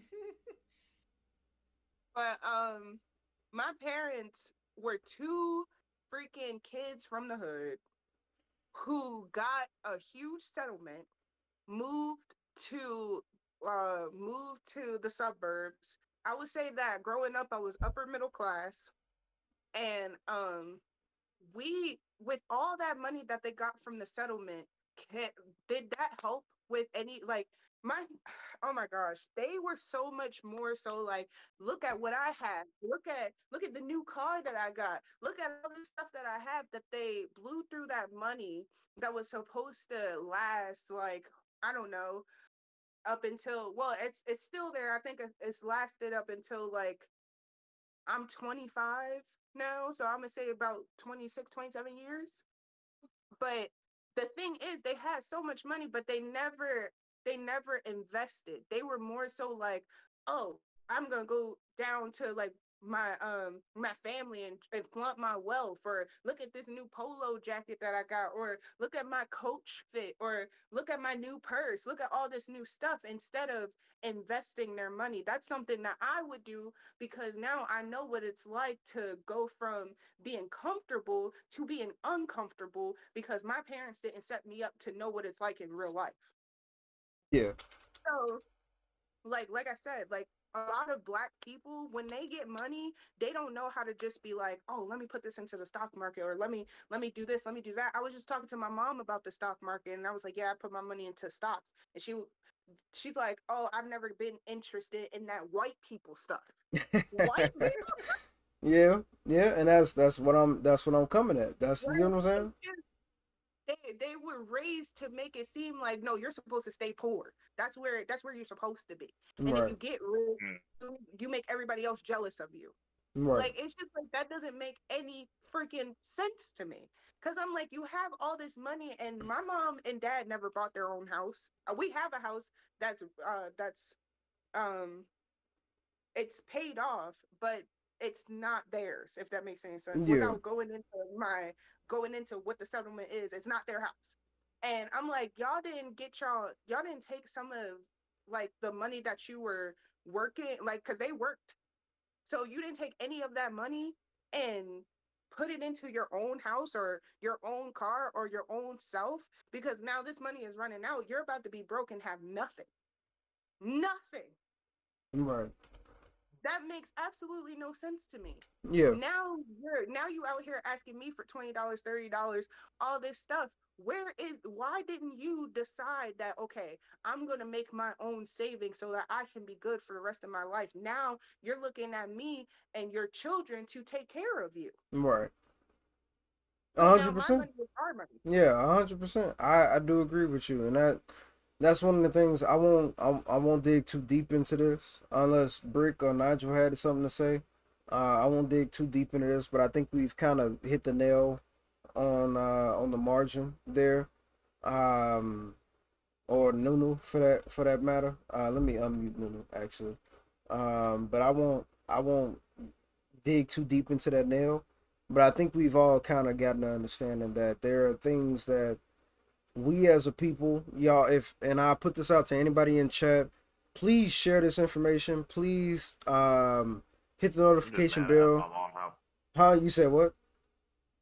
I'm just mad. The one time I asked my mom how much she made, I got screamed at.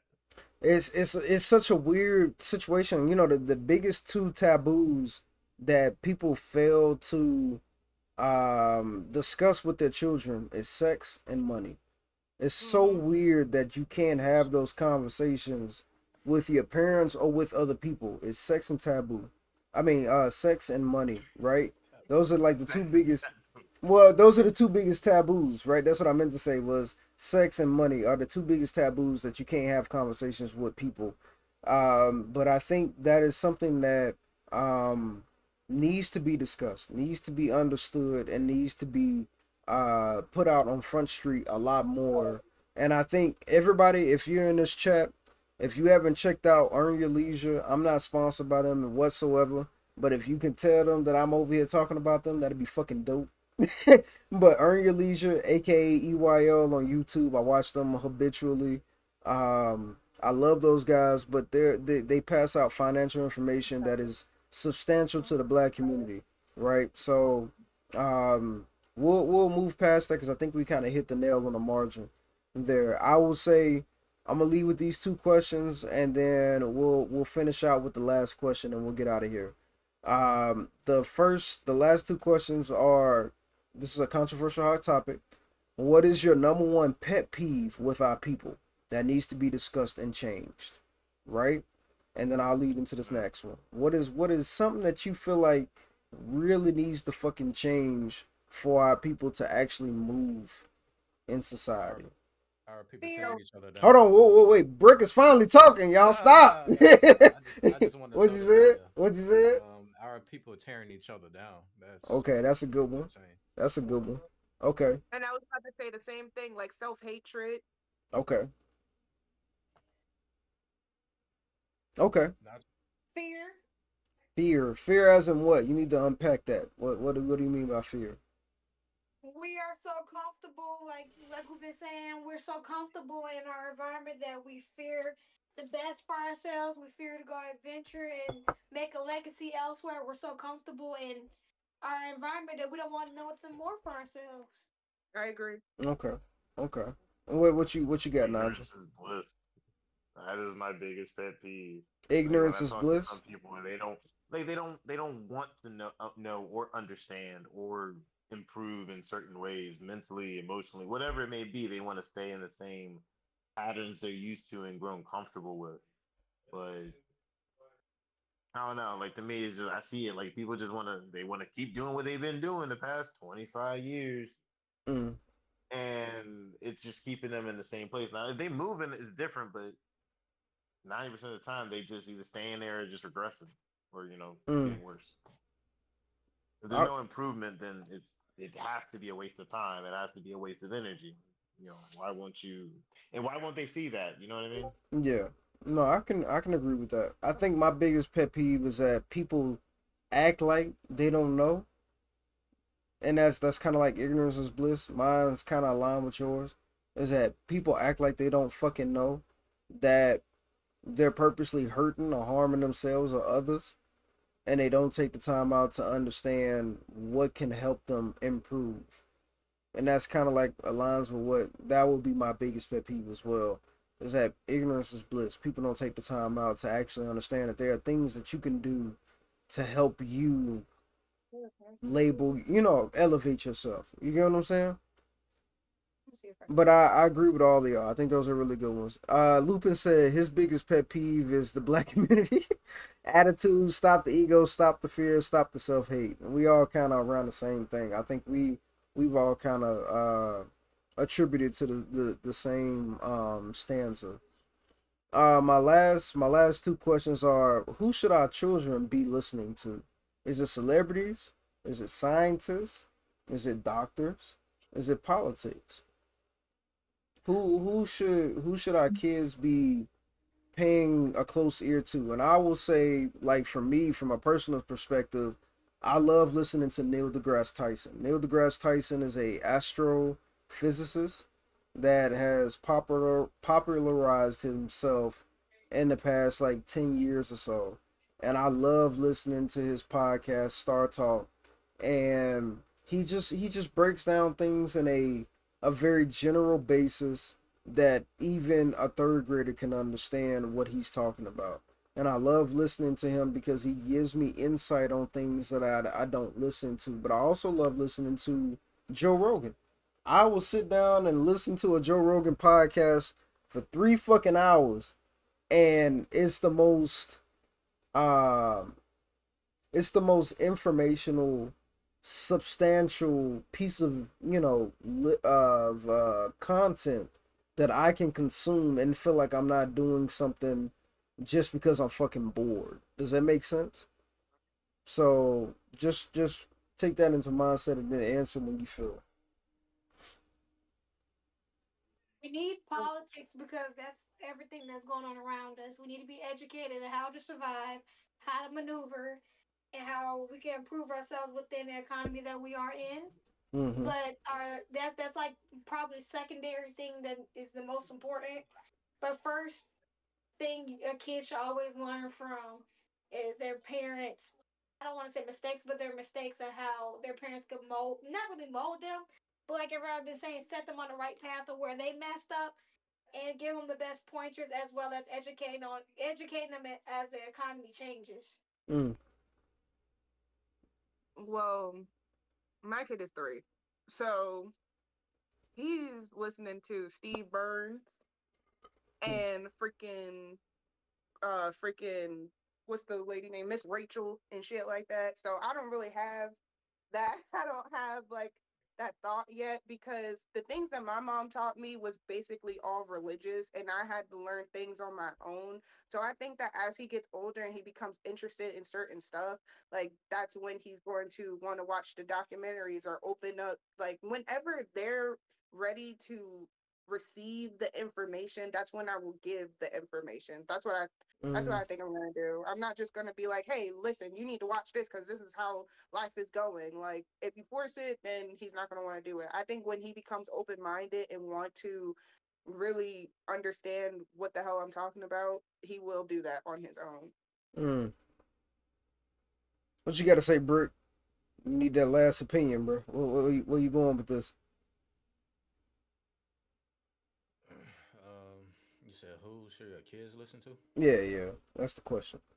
I mean, it's it's really like no right and wrong answer to that.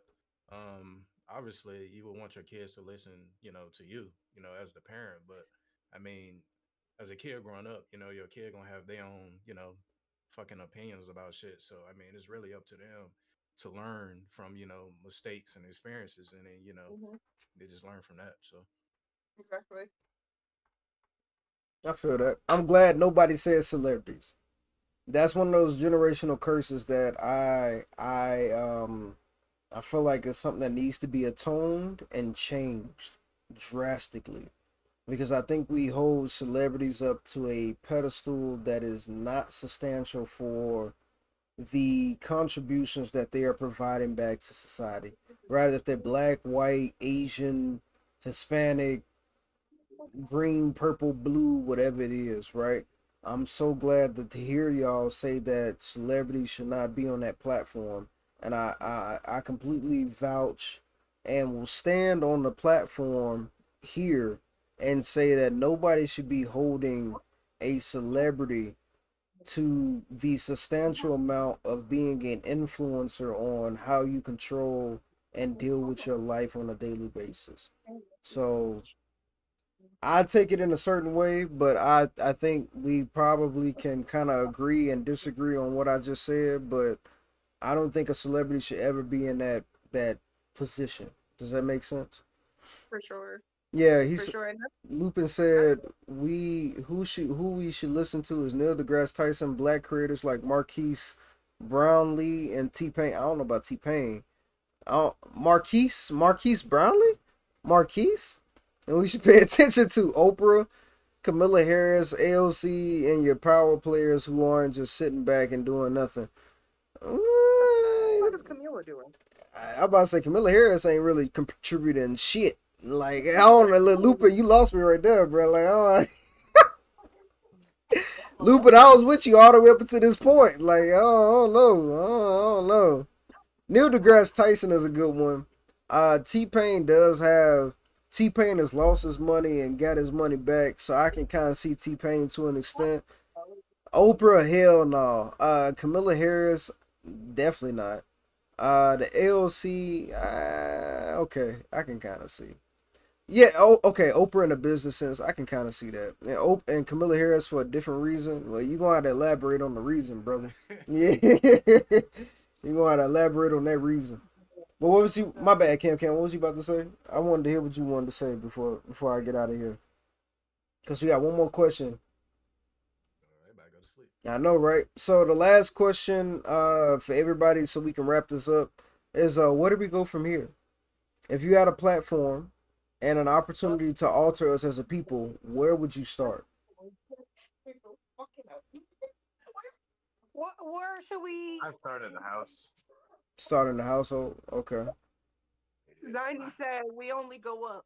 That's where we go. Okay, well that doesn't answer my question. Period. that doesn't answer my question at all. Where do we go from here? If you had a platform and an opportunity to alter us as a people, where would you start? I like the household, but but why? Start with the children. Okay, but why our children? You gotta build a. The church is our future. Oh, you, yeah, they're the, I exact- believe the they're the children are future. You future. Help you? them and help them lead the way.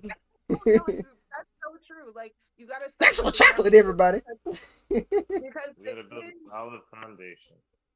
Huh? Hold on, Anything. hold on, she talking. Is she talking? She talking. Let her talk. What? No, I- no, I was just saying that like the kids are like who's gonna be like the next leaders and stuff like that. You gotta start with them because honestly, as an adult, you have your mindset.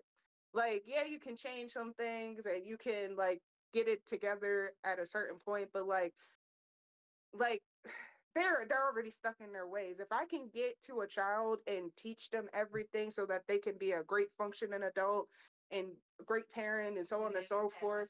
Exactly. Like that uh, that's how I think. And especially especially like uh teaching more about like just everything. I don't know. I can't think anymore. I'm done with this shit.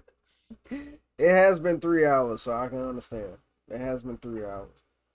But if y'all have nothing else to contribute to the conversation, uh, thank y'all. Before we leave, Huh? What you said, Nunu? before we leave. Huh? I said I do before we leave. What you got? What you got? Uh, with the contributing and how we start, you have to start with yourself. Exact. uh, Thank Like your you. friend said, you have to start with yourself. You gotta practice it yourself. You Mm. gotta understand where you're messing up at and try to improve on your end. And once you get to, once you start learning things, you can teach people around you. But first, you have to give yourself that knowledge and open up the opportunity. And like Cam Cam said, I can see why we should extend our hands to kids. But honestly, since they're so mm-hmm. young, things are going to change over time. We have to start with the people that's now, and that's more my generation, because we are the new adults.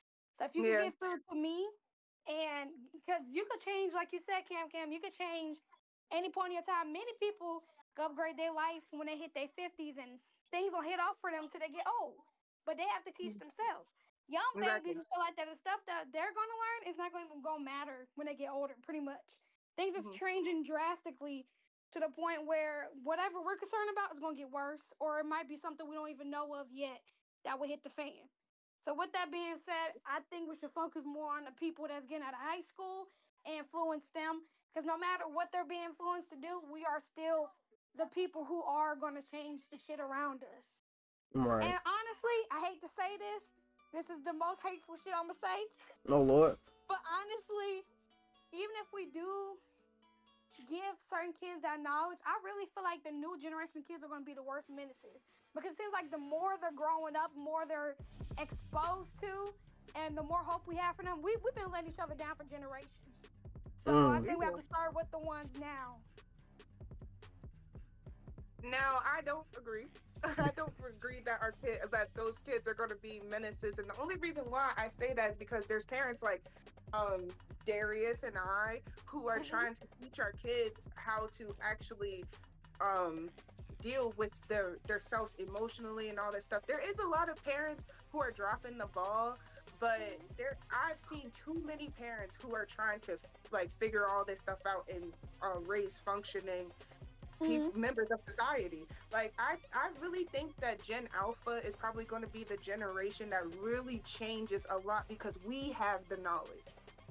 We are starting to um listen and understand and take it to consideration. So then our kids are going to grow up to be not only emotionally intelligent but just intelligent in general. hmm I, I can see So- that. I can. I can hundred percent see that. But I'm always about some are going to get it and some aren't. And even if you are taking the proper steps that matter, some kids are they're given everything. They have the above average opportunities than other kids do because of their skin color, because of financial, or just they're just favored. And most of them, they have the opportunity, they still fuck up. And you are given all the tools, and you still fuck up. So with that being said, like I said, I do agree that the newer generation of kids will be uh, impactful. But like I said, you have to focus on the ones who are actually stepping on the world now, because we are the ones who's going to mold how shit is going to turn out. Yeah, I can. I think I can I can uh, I can attribute to what Nunu was saying. And the, the the thing that I will leave you all with that's also in the chat is that you have to take into the mindset that there's a saying, right? The saying goes the the son of a warrior, right, grows to be a menace.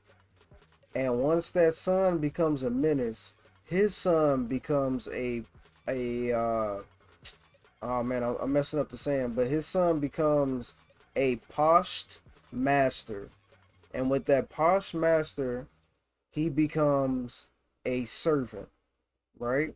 And we can we can really dig into that and basically just understand that the warrior has fought for something to change it into the the master, the posh master, turning his son into a person who has taken the advantages and the things that his grandfather fought for, right?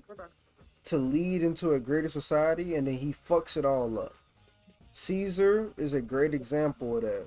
If you don't know who Caesar is, right, do your research. But Mar Mar uh, um uh Caesar basically had the same situation happen to him.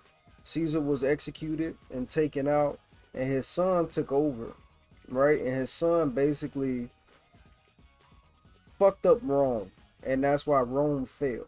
Do you get what I'm saying? So take that into consideration. I think that kind of attributes to what Nunu was stating before. Those are just the things that you have to understand is that you can't give your you can't give your children everything that you have lost. Little Caesar's feast, shut your ass up, nigga. but with that, we close out. Again, this uh this this topic was breaking generational curses. I do appreciate Brick Squad, Sax Boy, aka Nigel, uh the Arkham Knight, aka Cam Cam, Lady Sensei, Nunu, myself, and uh we had uh Artist Mo Money, aka my sister. Uh my other sister was in here uh to attribute to some of these topics. I thank y'all so much for being in here and uh just sticking with us and, and giving your opinions. When we have these discussions, it is a, a safe space. So we allow y'all to attribute to the to the topic as as much as possible and we we love that you guys uh enjoy these topics and i hope to do some more of this in the future. Uh if you haven't already be sure to follow the twitch channel subscribe and as well as uh turn on your notification bell so you can be informed about the future um the future um streams as well as share this with somebody and let them know you know we have these discussions over here but i also do uh other content on the side as well and it helps us out tremendously. I'm trying to put my uh my boy brick squad on the payroll so we can get this taken off into a further circumstance and i got a few other people that i want to uh to turn this into an actual business. I turn this into an llc so i want to take this to the next level and i, I any support is more than enough support uh in general. You say you hit up Two Ton. Two Ton will have some crazy ass. I would love to see Two Ton talk about some of this shit, man. But we'll have a different topic the next time we do this. Uh, it'll be a uh, a more um, I don't know. We'll we'll do some brainstorming and see what topic we'll do next next time. But I'll be out in Japan from the first until the 16th, so I won't be streaming as much. But I will be doing some vlogging and take some pictures and putting it on Instagram and such. Uh, so if you guys want to hit me up while I'm out there, uh, it would be amazing as hell. Um, and we'll we'll we'll continue from here. When I get back in May, we'll do some more. Uh, I don't want to really call this a podcast because it's not necessarily a podcast. It's more like a talk show. So um, any help will be substantial. If you want to donate uh, to the dojo to help out what I was what, what I was stating before. Oh Lord, all right, this these white claws are kicking in. if you want to uh, donate to the dojo so that I can start what I'm starting, it would be greatly appreciated. This is the Discord that we are in, and uh, my socials. I think I Brick. Do I got a socials joint? I don't think I got a socials one. But anyway, I appreciate y'all very, very well. Uh, you can find me on any social media platform at Dari Sensei uh, on most platforms. Art Forever is my Facebook platform. Uh, and it'll be greatly appreciated if you can follow those channels and be notified for future uh, for future uh, streams um, that'll come down the line as we as we continue this. Uh, also, please check out the merch as well. Uh, we have a, a whole line of merch dedicated to y'all. So this this is all for y'all. This is all the uh the money that you supply to me does not go into my pocket. It goes to improving uh either the dojo in some form or fashion or it goes to uh paying my my future prospects here like Brick Squad to handle and take care of the stream. So um just keep that in mind when you're when you're purchasing these things. But much love to y'all. I hope y'all enjoyed the episode and I hope to see you in the next one. Much love to everybody. Have a great rest of your weekend and I'll see you when I see you. Much love. Bye. Any any last any last takes for anybody?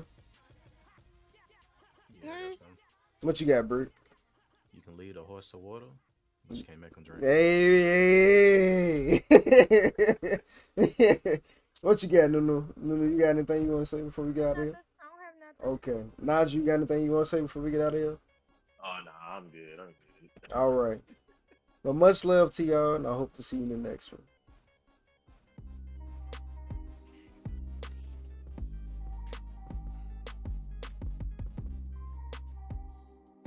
How y'all feel about that one? Was that was that was that all right?